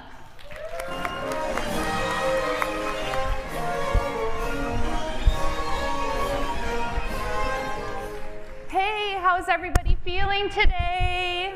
It's a great day to be in Orlando at Destination D23, and I'm Amy. And I'm Stephanie, and we are the we are Imagineers and the creators of Disney Paper Parks, an at-home activity available to download free on the Disney Parks blog. So when the parks closed, we wanted to bring the parks to you, and now you can make your favorite Disney park attractions at home out of paper. And it's been so great to see all of your creations and how much fun you have all had creating your own version of Disney paper parks. Now on our 29th release, you can make anything from the Magic Happens Parade to the Haunted Mansion. And it's been so great to see a lot of you at the Disney Paper Parks table that is part of the Walt Disney Imagineering exhibit making these cool ornaments, but if you haven't gotten the chance to make them yet, you still have time during the lunch break on Sunday. And right down the hall, don't forget, at Mickey's of Glendale shop, you can now buy exclusive Disney Paper Parks merchandise and shop by, stop by for amazing photo op. Okay, who's ready for some trivia? So in honor of the art and imagery of Walt Disney World presentation that you're about to see, we've pulled together some really fun questions that we like to call the art and flair of Walt Disney World. So a quick reminder on how to play. Now is the time to break out your phones. If you're still logged in with your window open, hang tight, we'll be starting soon. If you need to rejoin or are playing the game for the first time, scan the QR code or go to the link on the screen. Once again, players with the top scores will receive a printed certificate and a paper crown, along with the ultimate bragging rights. And you know we love paper, so. Each round throughout the weekend will be scored separately, so you'll have many chances to win. So this is your last chance to log in and play along. All right? Let's get started. Okay, is everybody ready? Yes? Okay, this round has 10 questions. We'll read each question fully, then you'll have 10.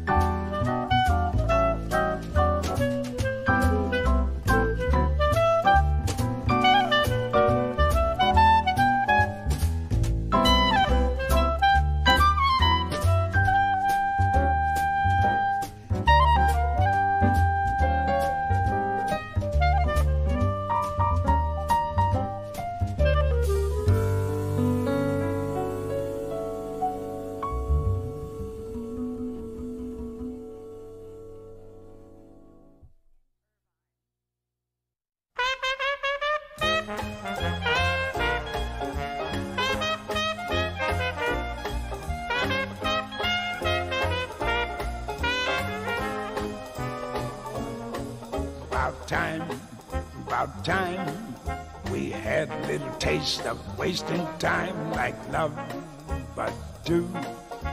I waste a little time alone with you. About time, we two were living out a lovely dream come true. About you, about me, about love, yes. About time, about time, we spent a little time, no one near to watch Say a little something in your ear about how I care, about how I wanna make my feelings clear about you, about me, about love.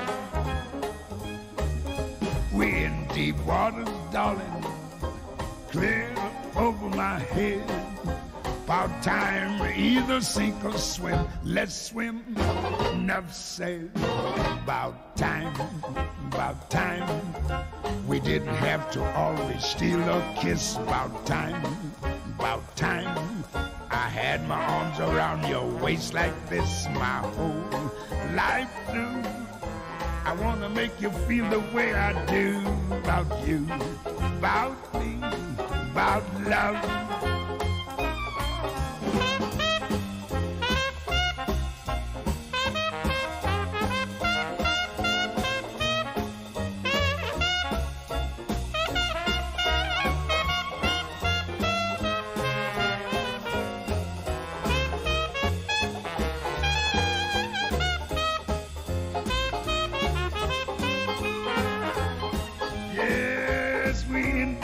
Water, darling. Clear over my head. About time to either sink or swim. Let's swim. Enough said. About time. Yes, time. We didn't have to always steal a kiss. About time. Time.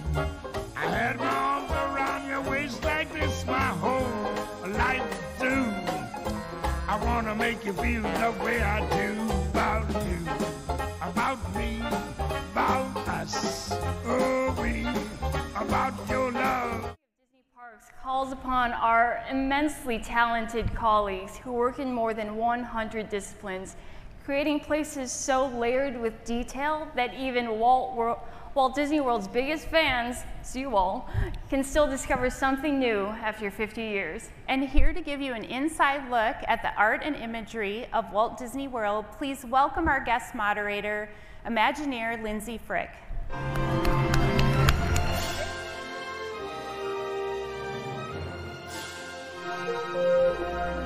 Hi, everyone, and joining me for this panel will also be my fellow Imagineers, Peggy Ferris, Gary Landrum, Stacy Schoaf, and Mike Poocher. well, thank you. We're really excited to be here today and share just a few of the many stories about the beautiful art and imagery of Walt Disney World. What better way to celebrate this 50th anniversary than just sharing some of these fantastic stories? Now, we have a glorious three hour presentation, but we only have 40 minutes, so let's get started. And we'll start with you, Peggy. Kind of what's your quick Disney story of how you got to be an Imagineer? So, when I was eight years old, Walt Disney opened Disneyland in Anaheim, California, and it was my hometown. we went to Disneyland every year, and 10 years later, I was working in Disneyland as an attraction hostess on Storybook Land, later the Matterhorn, Great Moments with Mr. Lincoln. And in 1969, they invited 10 of us, mostly tour guides, but some attraction hostesses, to come to, Walt to, come to Central Florida to participate in the press conference that would announce the first phase of Walt Disney World. Well, I took one look at the plans, at the earth moving that was going on, at just the magnificence of the project, and I thought, I really want to be part of this. So, two years later, after uh, tugging on coats, uh, coat sleeves and, and following up, I was working here um, actually in the Contemporary Resort Hotel. I was uh, a supervisor of guest activities and then later a meeting planner. And then in 1976, I bumped into Marty Sklar. And I'd met Marty back at the press conference seven years earlier, and we're catching up. And I said, Well, I'm kind of looking at what opportunities there might be back in California. And he said, You know, we're planning Epcot, and I want to kick it off with a series of conferences. And you, you have your meeting planning experience. You know Walt Disney World, and you know Disney. So why don't you come to California and work at WED and help us with these conferences? And uh, so I did. And if you're curious about the next 40 years of my Imagineering experience, you might want to look into a book that's coming out in March called Women of Imagineering. So.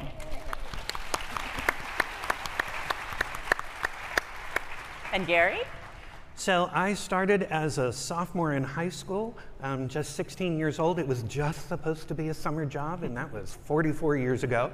Um, so I clearly enjoyed it. Uh, I was in attractions uh, for 10 years at the Magic Kingdom in Epcot, uh, but it's when I was in guest relations at Epcot that I had the opportunity to host the Hidden Treasures of World Showcase seminar, which was really anchored in our international art galleries in the World Showcase. I was an art major at UCF at the time, fell in love with the galleries, and it actually taught me that I didn't have to create the art, I just wanted to be around it and I wanted to tell its story. So I bought my time. I eventually became curator, exhibit producer of art collections for Walt Disney Imagineering. Um, you'll hear more from that team tomorrow.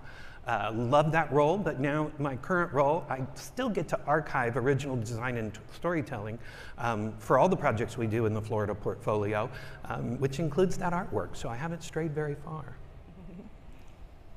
Steve? I got started during I got started during Walt Disney World's 25th anniversary, where I worked on Main Street at the ice cream parlor, bake shop, and Casey's Corner, and then came back for an internship with a Walt Disney World library that ran what was originally called Epcot Outreach and later became the Epcot Discovery Center, where I wore this lovely flight attendant's costume there on the side and probably handed out some Disney fact sheets and brochures to a lot of the super fans here in this room. Um, and then ended up um, going back to school and getting my master's degree in library science. I worked at a couple different libraries here at Disney. And then um, for the past seven years, I've been with Imagineering. I'm now the librarian for WDI here in Florida. So I do lots of weird and wonderful research for all the people who design and build the parks and resorts here in Florida. And I'm lucky enough that part of my job, I spend a lot of time working with the art and working with the fantastic people who care for our Imagineering art, including my friend Mike. Thanks, Stacy.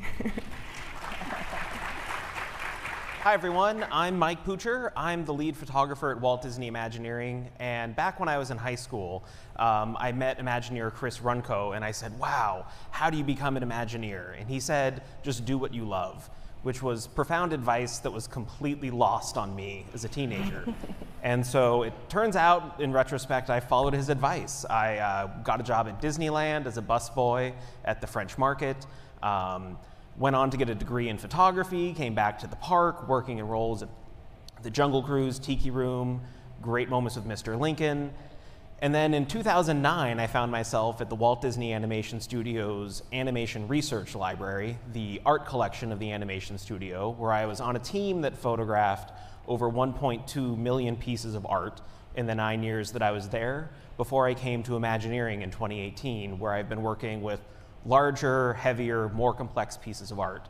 And I work, it's not just, oh, it's not just me doing that solo. I work alongside an amazing team that uh, I'm just one of them up here on stage. So to all of you at home, thanks.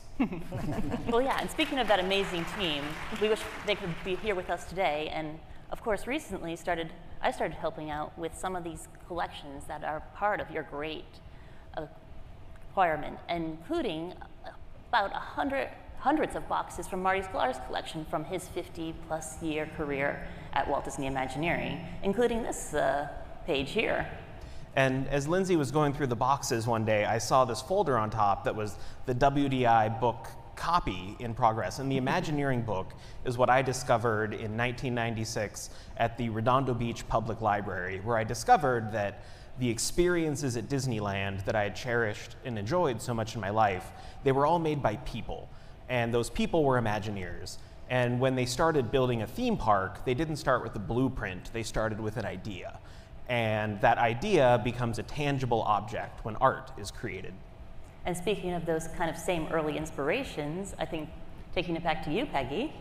Well, you know, it, here we are talking about the importance of art, but I had grown up just experiencing Disneyland.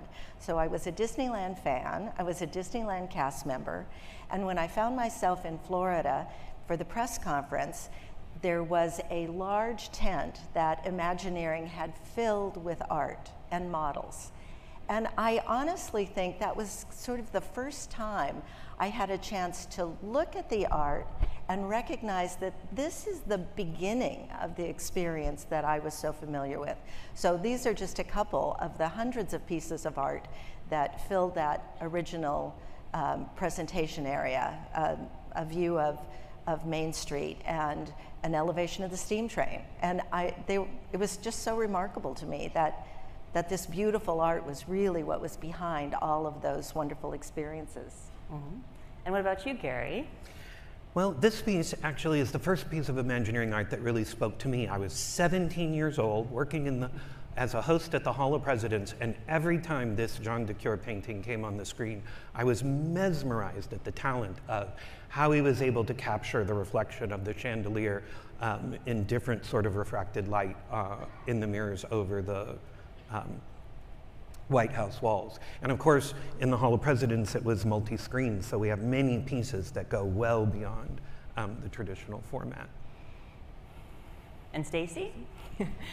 um, and I picked as my inspiration piece um, what the, the, Mary Blair's mural here at the hotel, of course.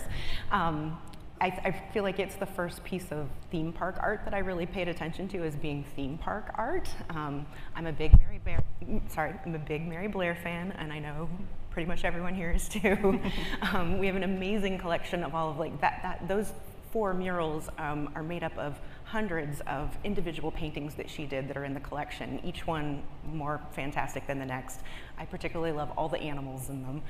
Um, she's just, we know she's an icon. She's a style icon too. I love this picture of her being sassy. um, but I think that probably the fact that she is such a Disney icon is probably why this is one of the very few pieces of art here on property that actually has signatures of the artist in it. So if you've never noticed that before, if you as you're coming to the top of this the escalator on the fourth floor, it's just to your left there near the entrance to the, the cafe.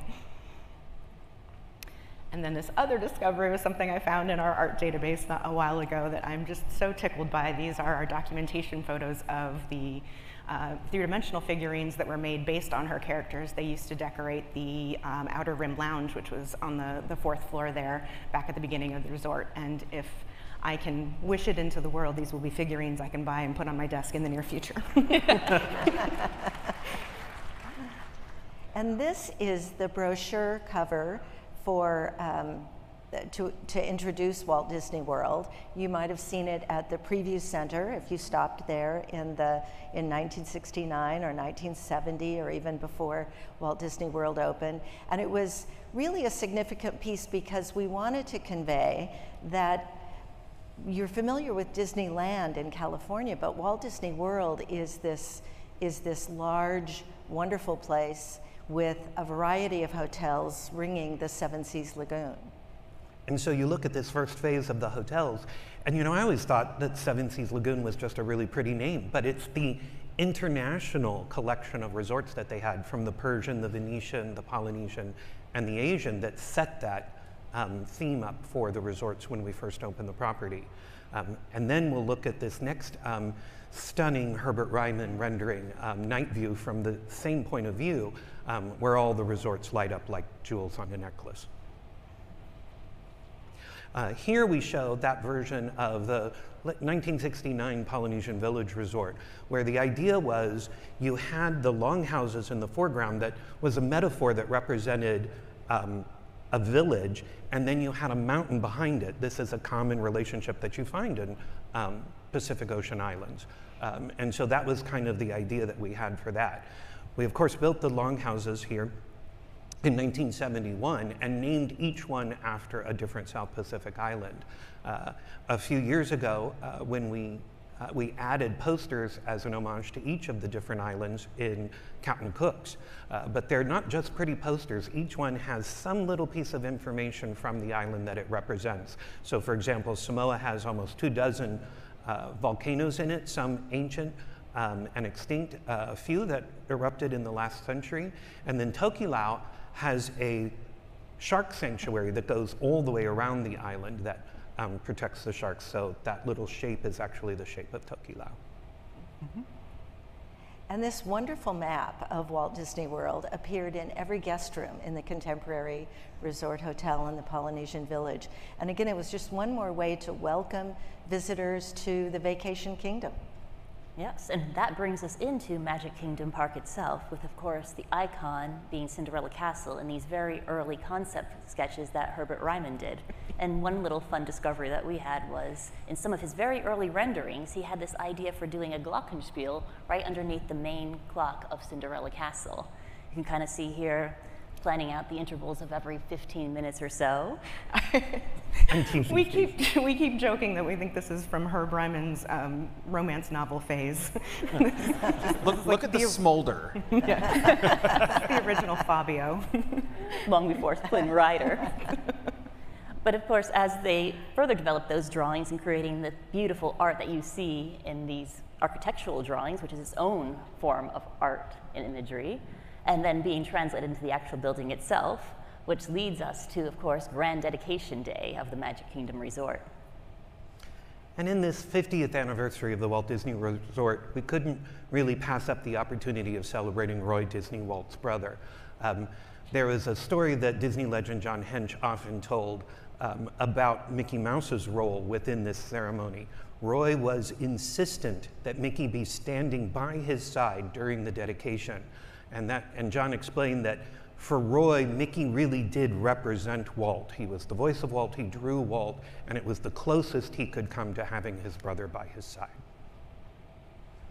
So we did a tribute in this very um, same location to Roy with this Disney legend Blaine Gibson uh, statue sharing the magic with Minnie Mouse. Um, it was actually inspired by a photo shoot that took place just um, before the park opened to the public.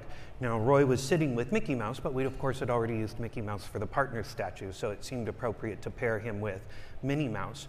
But Blaine, who had come just a few months after it opened, and we had the opportunity to interview him, he explained how he put a little bit of symbolism into the statue.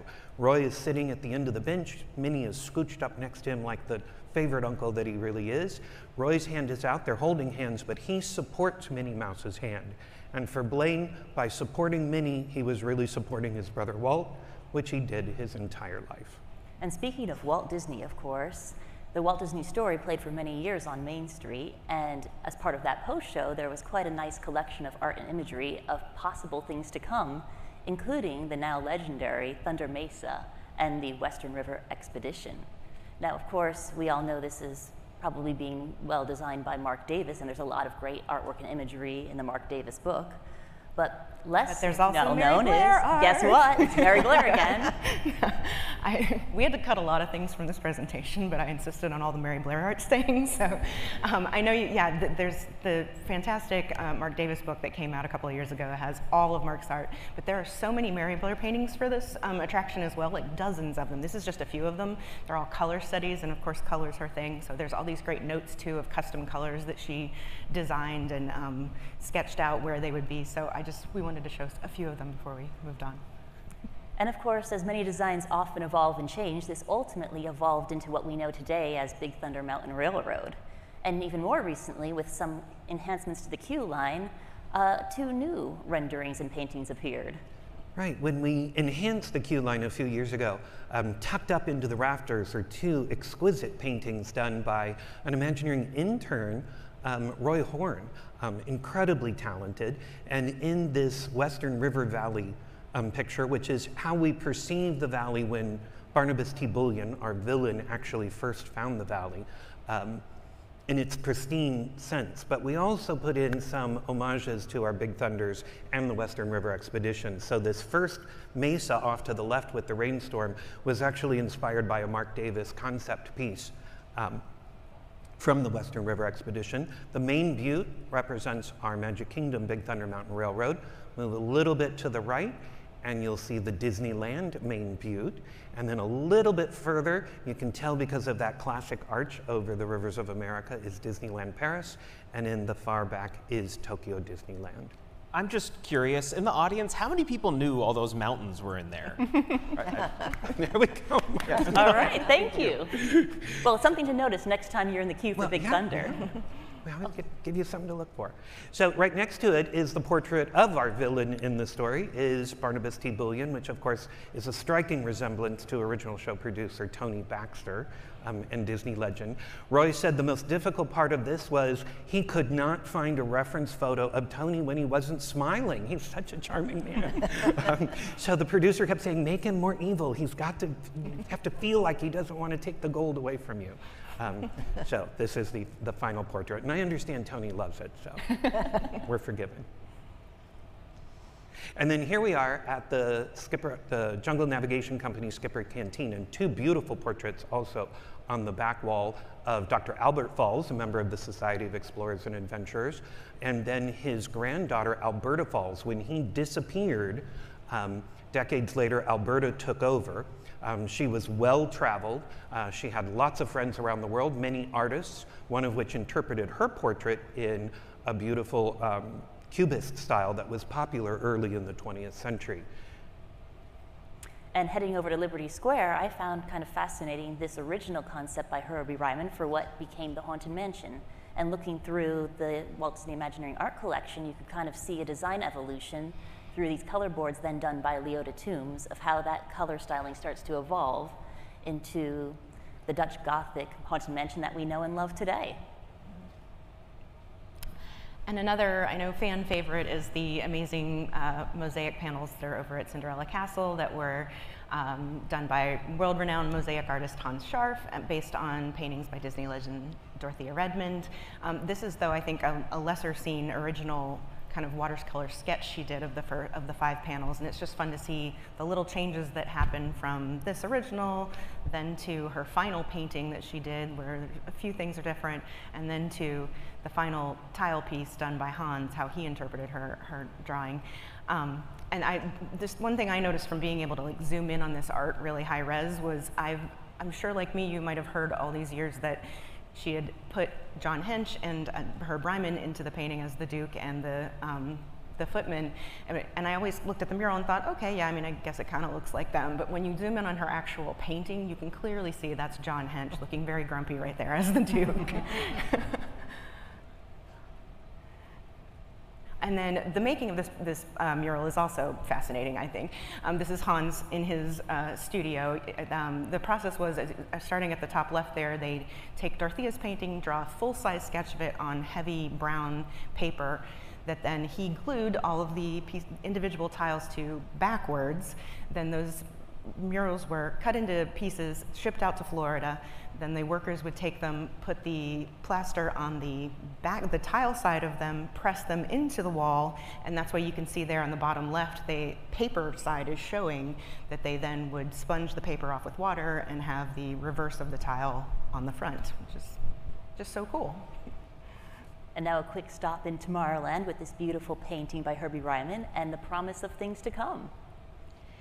And big things to come for me um, included um, beginning to work at Imagineering. And uh, we were beginning to start working on Epcot. You can see that this model um, is one that it's kind of an early version. We haven't totally settled on the location for the American Adventure. Um, but when I was at Imagineering, the, the production of art was just um, incredible. You know, our hallways were filled with art as we worked to um, imagine what each of the pavilions would be. We, but Marty wanted to be sure that we were engaging with experts to help us understand what the stories of today would be and looking toward the future. So we hosted a series of conferences uh, and we we brought together people who were experts in agriculture, in energy, in food production. Um, we hosted a conference right here in the contemporary Good Health in America, Challenge and Choice with Johns Hopkins. Um, we, we brought lots of experts together. We brought lots of um, prospective um, companies who might want to be associated with the pavilions. And in the course of all that, we began to work with people like Ray Bradbury and wonderful artists like, here's a picture of Claudio Mazzoli. And Claudio has taken 40,000 years of communications history and represented it in those beautiful, colorful murals. Here's Ray Bradbury working with John Hench and Card Walker.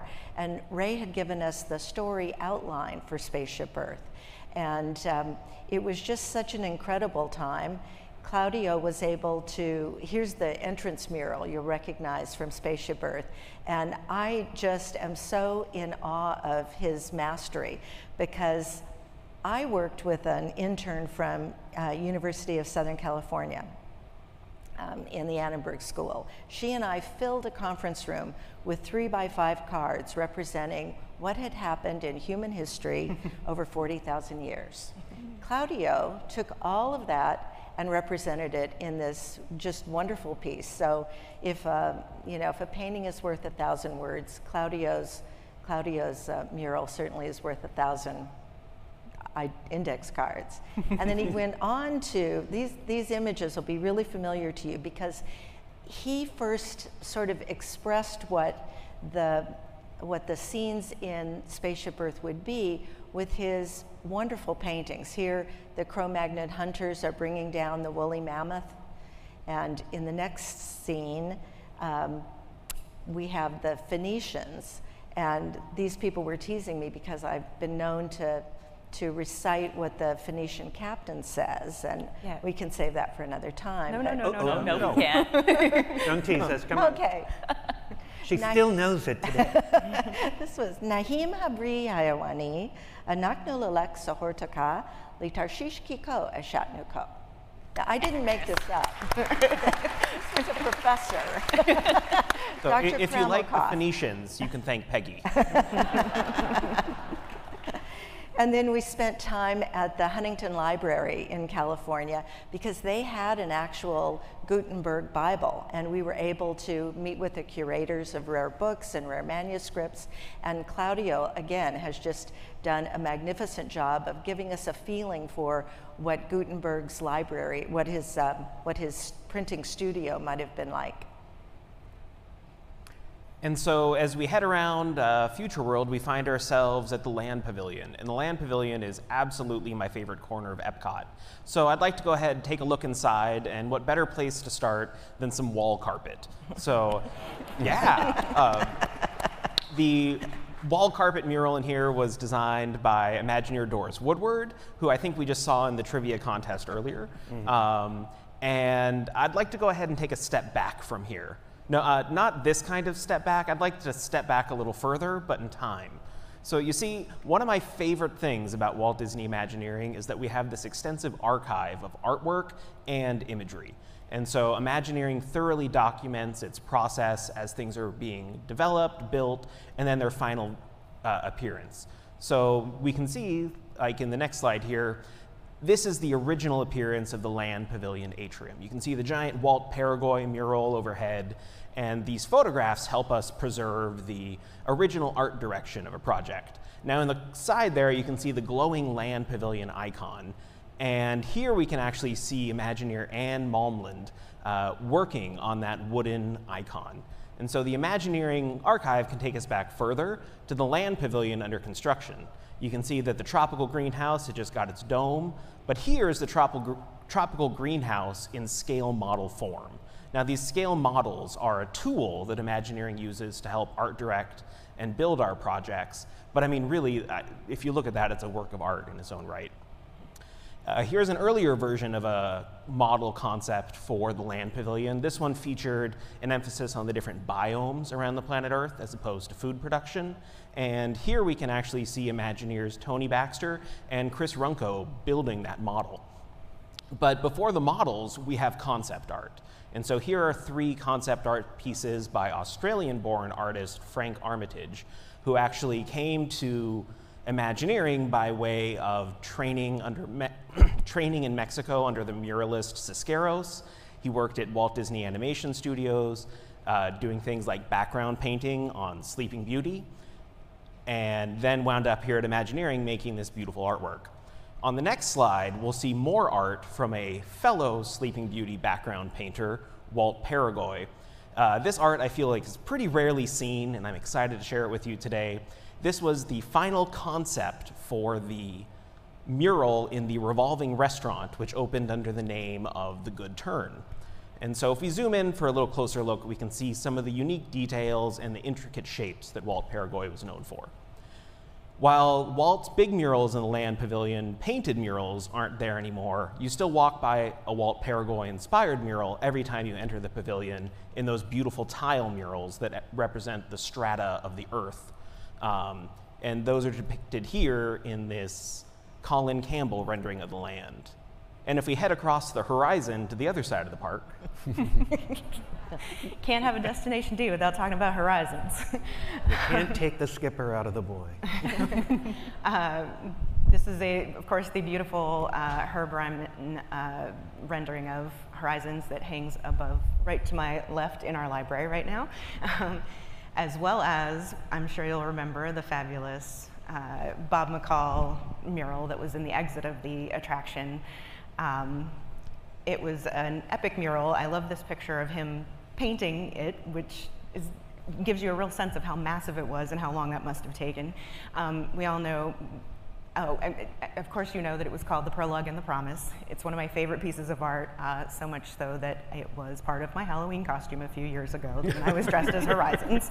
Um, but no, Bob McCall was a world famous uh, space artist of the time. He was did stuff, a ton of stuff for NASA. You, he did the giant lobby mural at the Air and Space Museum. He did stuff for 2001 Space Odyssey. So we hired him to be kind of our future expert paint guy and he what i love is that this is just a couple of the alternate murals that he did there's several of them and um, we didn't we had to cut them out there's a ton more he did concepts for every scene in the attraction so um, i'm going to be doing the rest of my presentation in the alley about back afterwards if you want to see the rest of these sorry And so here's a really interesting piece of art. It's called Epcot Future World Center. It's when the ideas for Future World and World Showcase were completely separate.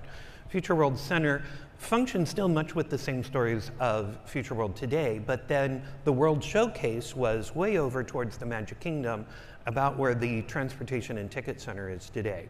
And so when you look at Walt Disney World Showcase, there are two semicircles where each nation had equal footage along a promenade. Sound familiar? Um, but based on how much they wanted to participate, they could have as large a piece of pie as they wanted. Um, this also brings up a story that Marty Sklar told me only just a few years ago. I'd never heard it on the project before, but you'll see that row of a court of flags in the middle. Later, you also saw it in what became the Communicore um, designs. We had ideas for courts of flags at the front of the park in Showcase Plaza in front of the American Adventure. But Marty explained very much in the 11th hour, just before Epcot opened, they made a decision that, or really an understanding that understandably, uh, flags are nationalistic and they can be political. World Showcase was to be about culture and about people. So we chose not to put a court of flags into the Epcot Center Park, um, but one sort of slipped in on the side. If you look at this Hampton Court facade for the United Kingdom Pavilion that was the toy soldier, there's beautiful art glass throughout, but on the second floor here, you'll see the shields of the patron saints of the United Kingdom, St. Andrew, St. Patrick, and St. George. And if you overlay them on top of each other, they form the Union Jack flag. And so this one slipped into the plan. Here you see Disney artist Sam McKim. Uh, Sam painted a lot of the paintings that you see inside of the American Adventure show. And so one of the paintings that he did was called Washington's Victory Parade. And recently, for their 50th anniversary book, Steven Vagnini, Kevin Kern, Tim O'Day requested this piece of art to appear in the book. On uh, sale now in the shop.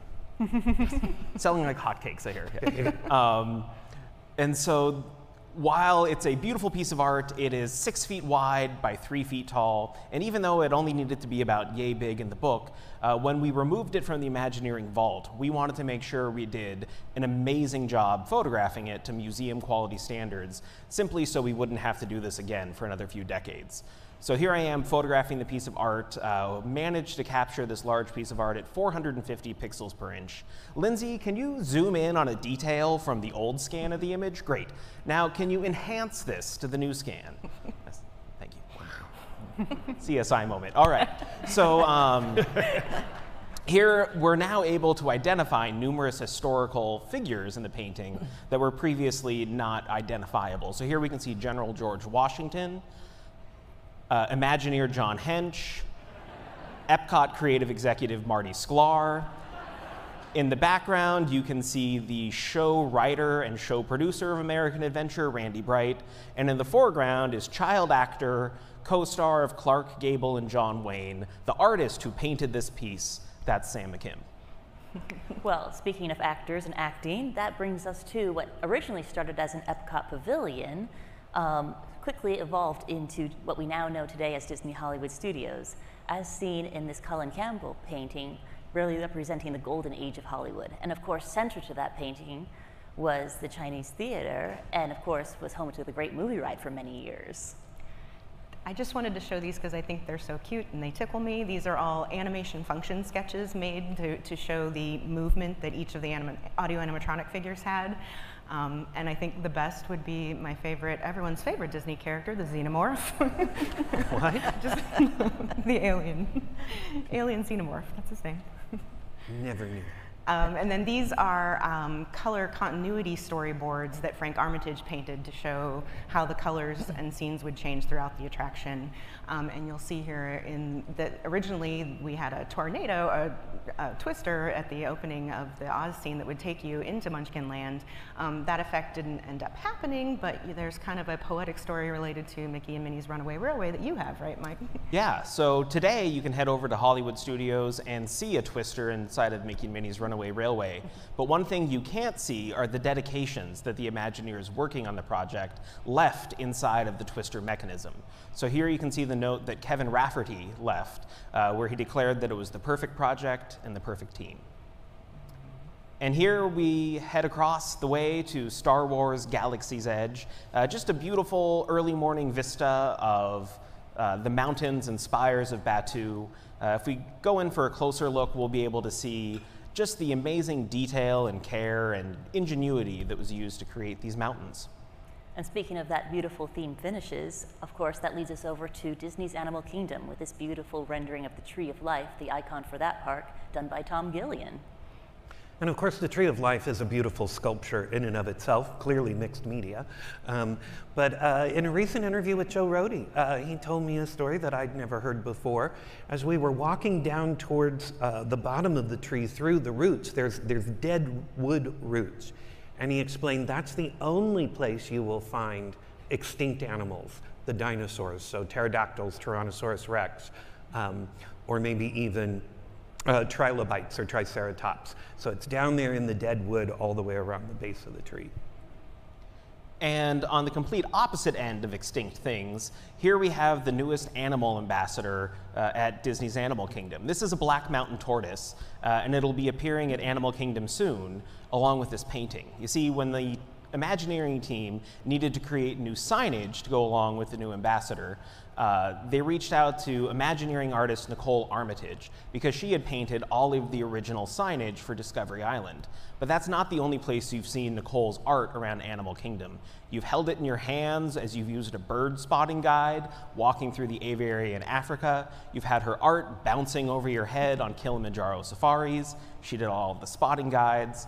It's been on the leaves that you see movie posters on in line for It's Tough to Be a Bug and you have had her artwork extremely hard to miss on the 5,500 square feet of murals inside of Pizzafari that she painted alongside her father, Frank Armitage.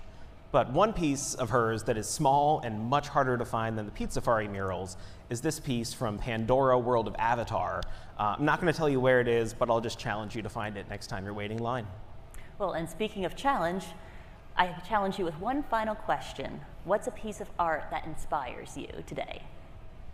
Mike? Um, so for me, I mentioned him earlier, I'm a big fan of Walt Peregoy's work. I find that his intricate use of shape and color and texture really inspires me as a photographer, right? If composition is the language of photography, then there are an endless number of ways that you can zoom in, crop, rotate, just to play with the varying compositions uh, in the details that he left in his paintings. And what do you think? There might be some uh, more Mary Blair for Stacy. this is my yeah, this is my new favorite Mary Blair pieces, just because I didn't know they existed before. But she did some furniture designs for Walt Disney World back. This is dated 1967.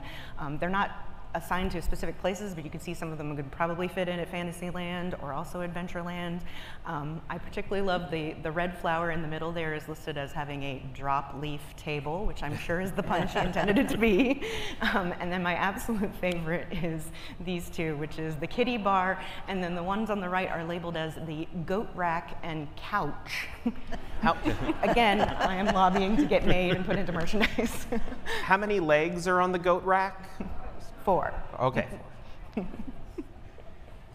So, and while I'm going to end with another John de DeCuir, my heart really belongs to Herbie Ryman. And so uh, this is actually one of only three prints I have in my office at work, a huge reproduction of it. It's a really stunning work. His talent is exceptional. Um, but the last inspirational piece that I have is this exquisite John de DeCuir of the stage backdrop at the Diamond Horseshoe Revue.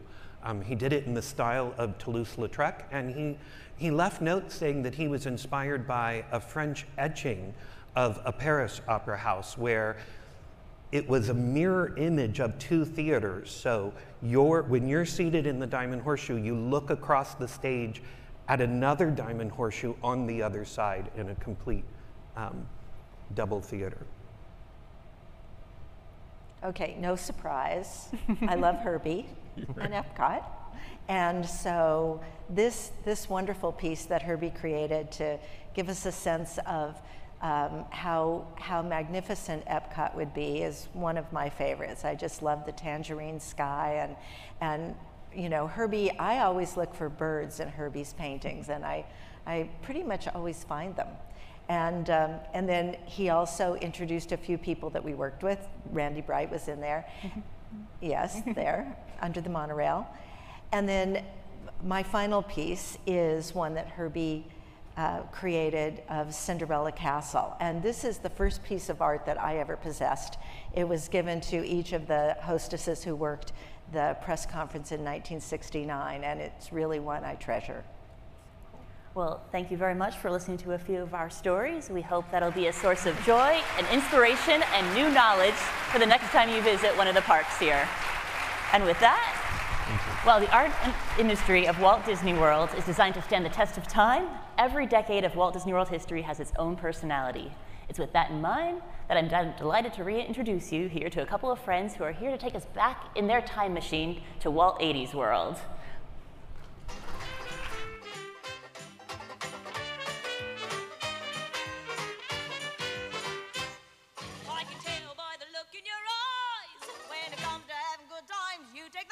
We can see by the smile on your face that you're absolutely gonna fall in love with this place. Well, just to make certain, just to make sure, we're gonna give you the Walt Disney World tour. Sit yourself down, get your feet off the ground. Let imagination be your guide. Let imagination be your guide. Follow us to a world of make-believe. Follow us. You can be who you want to be. Where some kids are tiny, some kids are large. The hugs and the kisses are no extra charge. Follow us to a world of fantasy. Follow us. You can be where you want to be. All it takes is a little believing. A touch of magic. And the song we're singing. Follow us.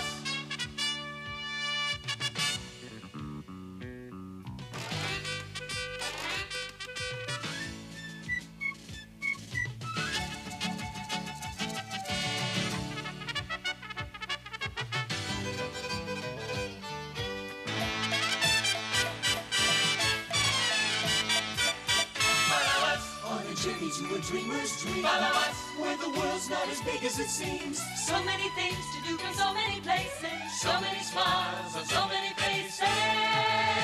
So many faces. Follow us to a world of laughter and song. Follow us where memories last a lifetime long. We gotta get started. There's so much to do.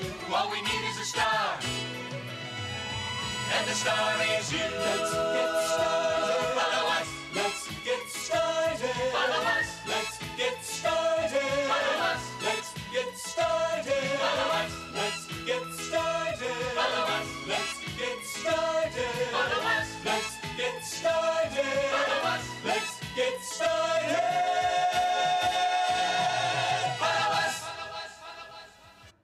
Please welcome back to the stage Brett Iwan and Ashley Eckstein.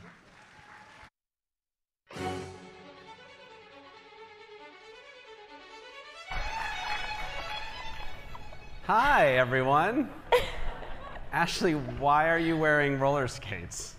Well, Brett, it's Walt 80s World, and I thought we are supposed to share some of our favorite things from Walt Disney World in the 80s, and mine was the roller skating rink at Pleasure Island. Right? Anyone? Anyone? Oh, not many people. No, I mean, I think I'm with them. Some things should be left in the 80s. Bars and roller skates don't really seem like they mix all that well. Well, in fairness, I was only eight, so I was just roller skating. Okay. Um, but what was one of your favorite things in the 80s? I- I'm glad you asked. Actually, one of my favorite things in the 80s were all the amazing looks that Mickey himself was rocking. Oh, yeah. I mean, look at that sorcerer costume. Come on. One of my favorite things was this Mickey doll that was like bright pink and turquoise. Okay. Sorcerer, right? I'm obsessed with Mickey's Epcot costume. that is pretty spectacular. And I mean, Mickey always looks good in scuba gear, so. Yep. Right? uh, but I think you also were a fan of. I was a fan of Minnie and the decade of Totally Minnie. Who remembers Totally Minnie, right? Yep. Yes, so Minnie had some really good looks, but there was also some really good shows. Let's check this out.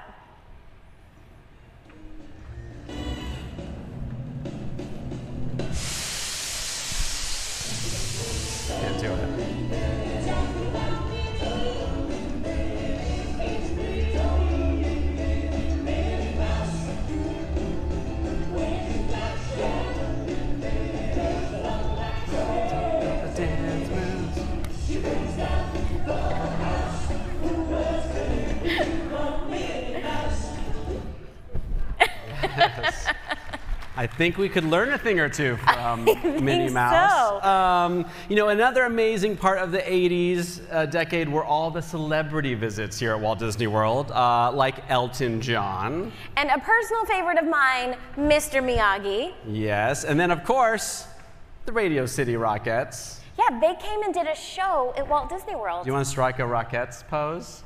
I think you have a better one. That's all I got for you. Okay. Um, yes, they did a brief little stint here in, I think, 85, celebrating America. How special is that? Um, but then, of course, there was an anniversary that happened in the 80s. The 15th anniversary. And we all know that nobody does anniversaries like Walt Disney World, so let's take a look at how they celebrated that special moment.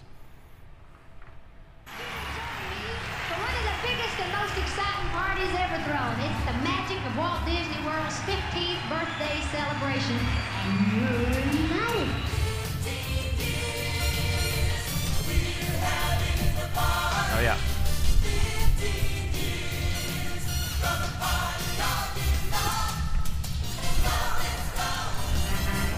Oh. You just want a locked car. Here, let me help you.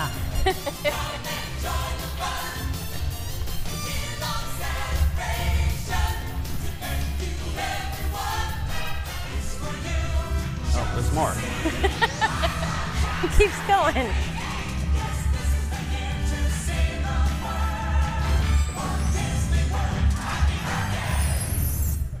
Happy, happy is what they say? I don't know. I love it. But I really love all of these musical numbers from the I 80s. mean, I think, I sorry, I think I just clicked the wrong button, so let's skip ahead. uh, I mean, but more Dolly, would you like to see more Dolly? I think she should probably host I- every anniversary celebration. I think so too. I could always have more Dolly she in my life. She could probably give you some hair tips Yep. and tricks, right? Good. Um, but okay, the 80s also brought my favorite park, Epcot Center. That's right. Uh, 1983 showed us Horizons opening and the Future World was the first attraction there, I believe. Um, and then also my favorite, Journey into Imagination with Figment. Yes, and the And the Dream, Dream Finder, Finder, is right. upstairs. One little spark. Yes. Yeah, that was and my then favorite. my favorite, the Veggie Veggie Fruit Fruit Show, Yeah. which is what I call it. It's actually called Kitchen Cabaret, but you know. Or the Veggie Veggie nothing- Fruit Fruit veggie, Show. Veggie, fruit, fruit, veggie, fruit, fruit, veggie, veggie, fruit, fruit. Dun dun dun. Okay, she's not. She didn't sing with me last Destination D, and she's not gonna sing with me now. No, gonna leave them, hang them out to dry. Um, so sorry. I oh my clicker is getting really uh, frenzied here. He told me that I wasn't allowed to click and yeah. skate. Well, I think we know who should not be clicking now. Um, but let's. Well, what happened? Sorry, we're all over the place. this is live. Somebody's moving it for us. Hold on, please. okay, we'll 15 dance again. years. Woo! Uh, I think this happened last time. Yeah, I think Okay. now we should probably take a look at the professional dancers and how they opened Epcot Center. Yes.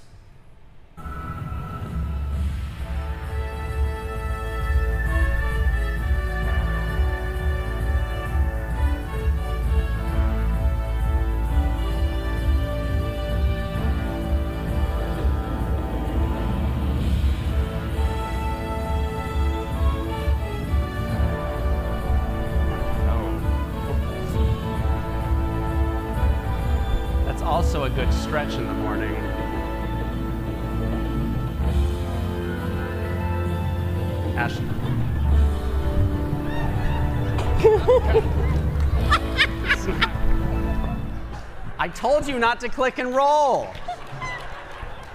But tuck and roll is okay. That's going to make for some interesting photos. Ah, okay, we got to keep moving, people. This is there's a lot uh, crammed in this decade. There were a lot of things opening. A lot uh, right? Like Disney's MGM Studios. That's right. So, Yes. uh, I love when keep- I get to say that. Yes, let's not keep them waiting. Let's look at how they opened and the cool dance moves they had. This is great. Pay attention to Indiana Jones.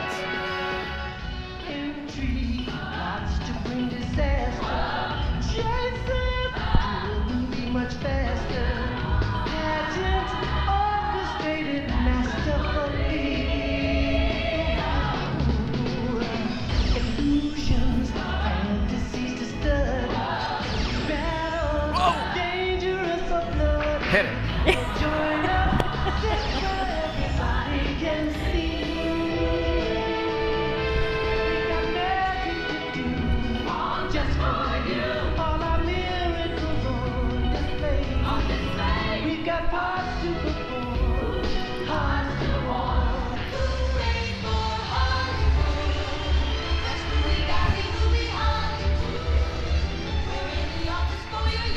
Believe it or not, there's more, but we're running out of time. So, uh, let's talk about what else opened in the 80s. So everything opened in the 80s. Not only did we have Disney's MGM Studios, but we had Typhoon Lagoon, That's right. So many things. And Pleasure Island, my favorite. complete with a roller skating bar, apparently. Yes. Again, who thought of that?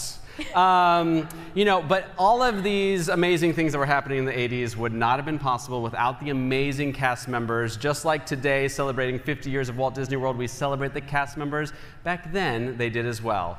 Um, you know, they're the ones who made the magic happen. So let's take a little peek into a special video created to do just that celebrate the cast members.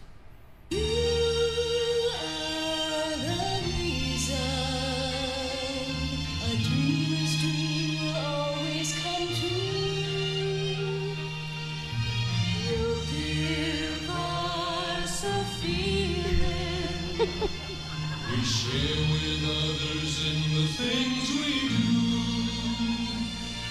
And this great big world we're all about needs love and understanding. Yes. To make it spin around. Get your lights up. Let's do it.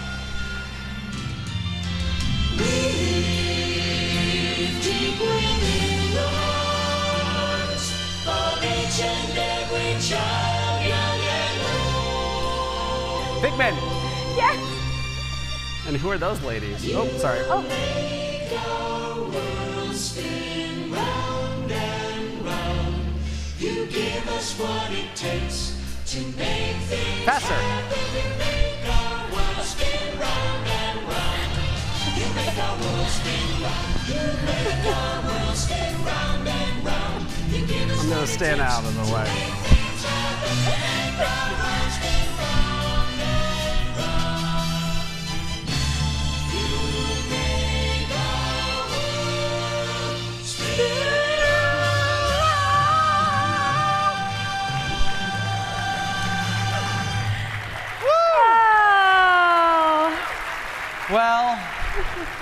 Thank you for allowing two kids from the 80s to take you back to our lost youth. It's clearly lost after those moves. And for the record, Ashley's older. Thank you. Well, Brett, you know what they say age before beauty. I'm more than just a pretty face, okay? Uh huh. Love you, buddy. Love you too, I think. Uh, Well, now my beautiful friend and I may be known for our work with cinematic characters, but I think Brett would agree that some of our favorite characters were born not on screen, but in the park. oh, yeah, absolutely. I am not ashamed at all to say that my favorite musical artist is none other than Big Al. Blood on the saddle. I did not know that about you, but I am a Sunny Eclipse girl myself. Oh. Right? I could see that. Yeah. Well, whichever theme park originals are among your favorite characters, this next next presentation is just for you.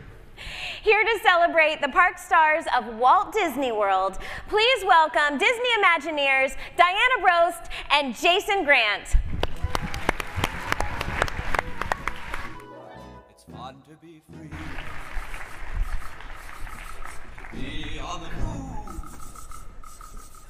They're bringing our chairs. Just hold on one second. Ooh, and a table. Hi, everybody. Uh, I'm Jason Grant, and I'm a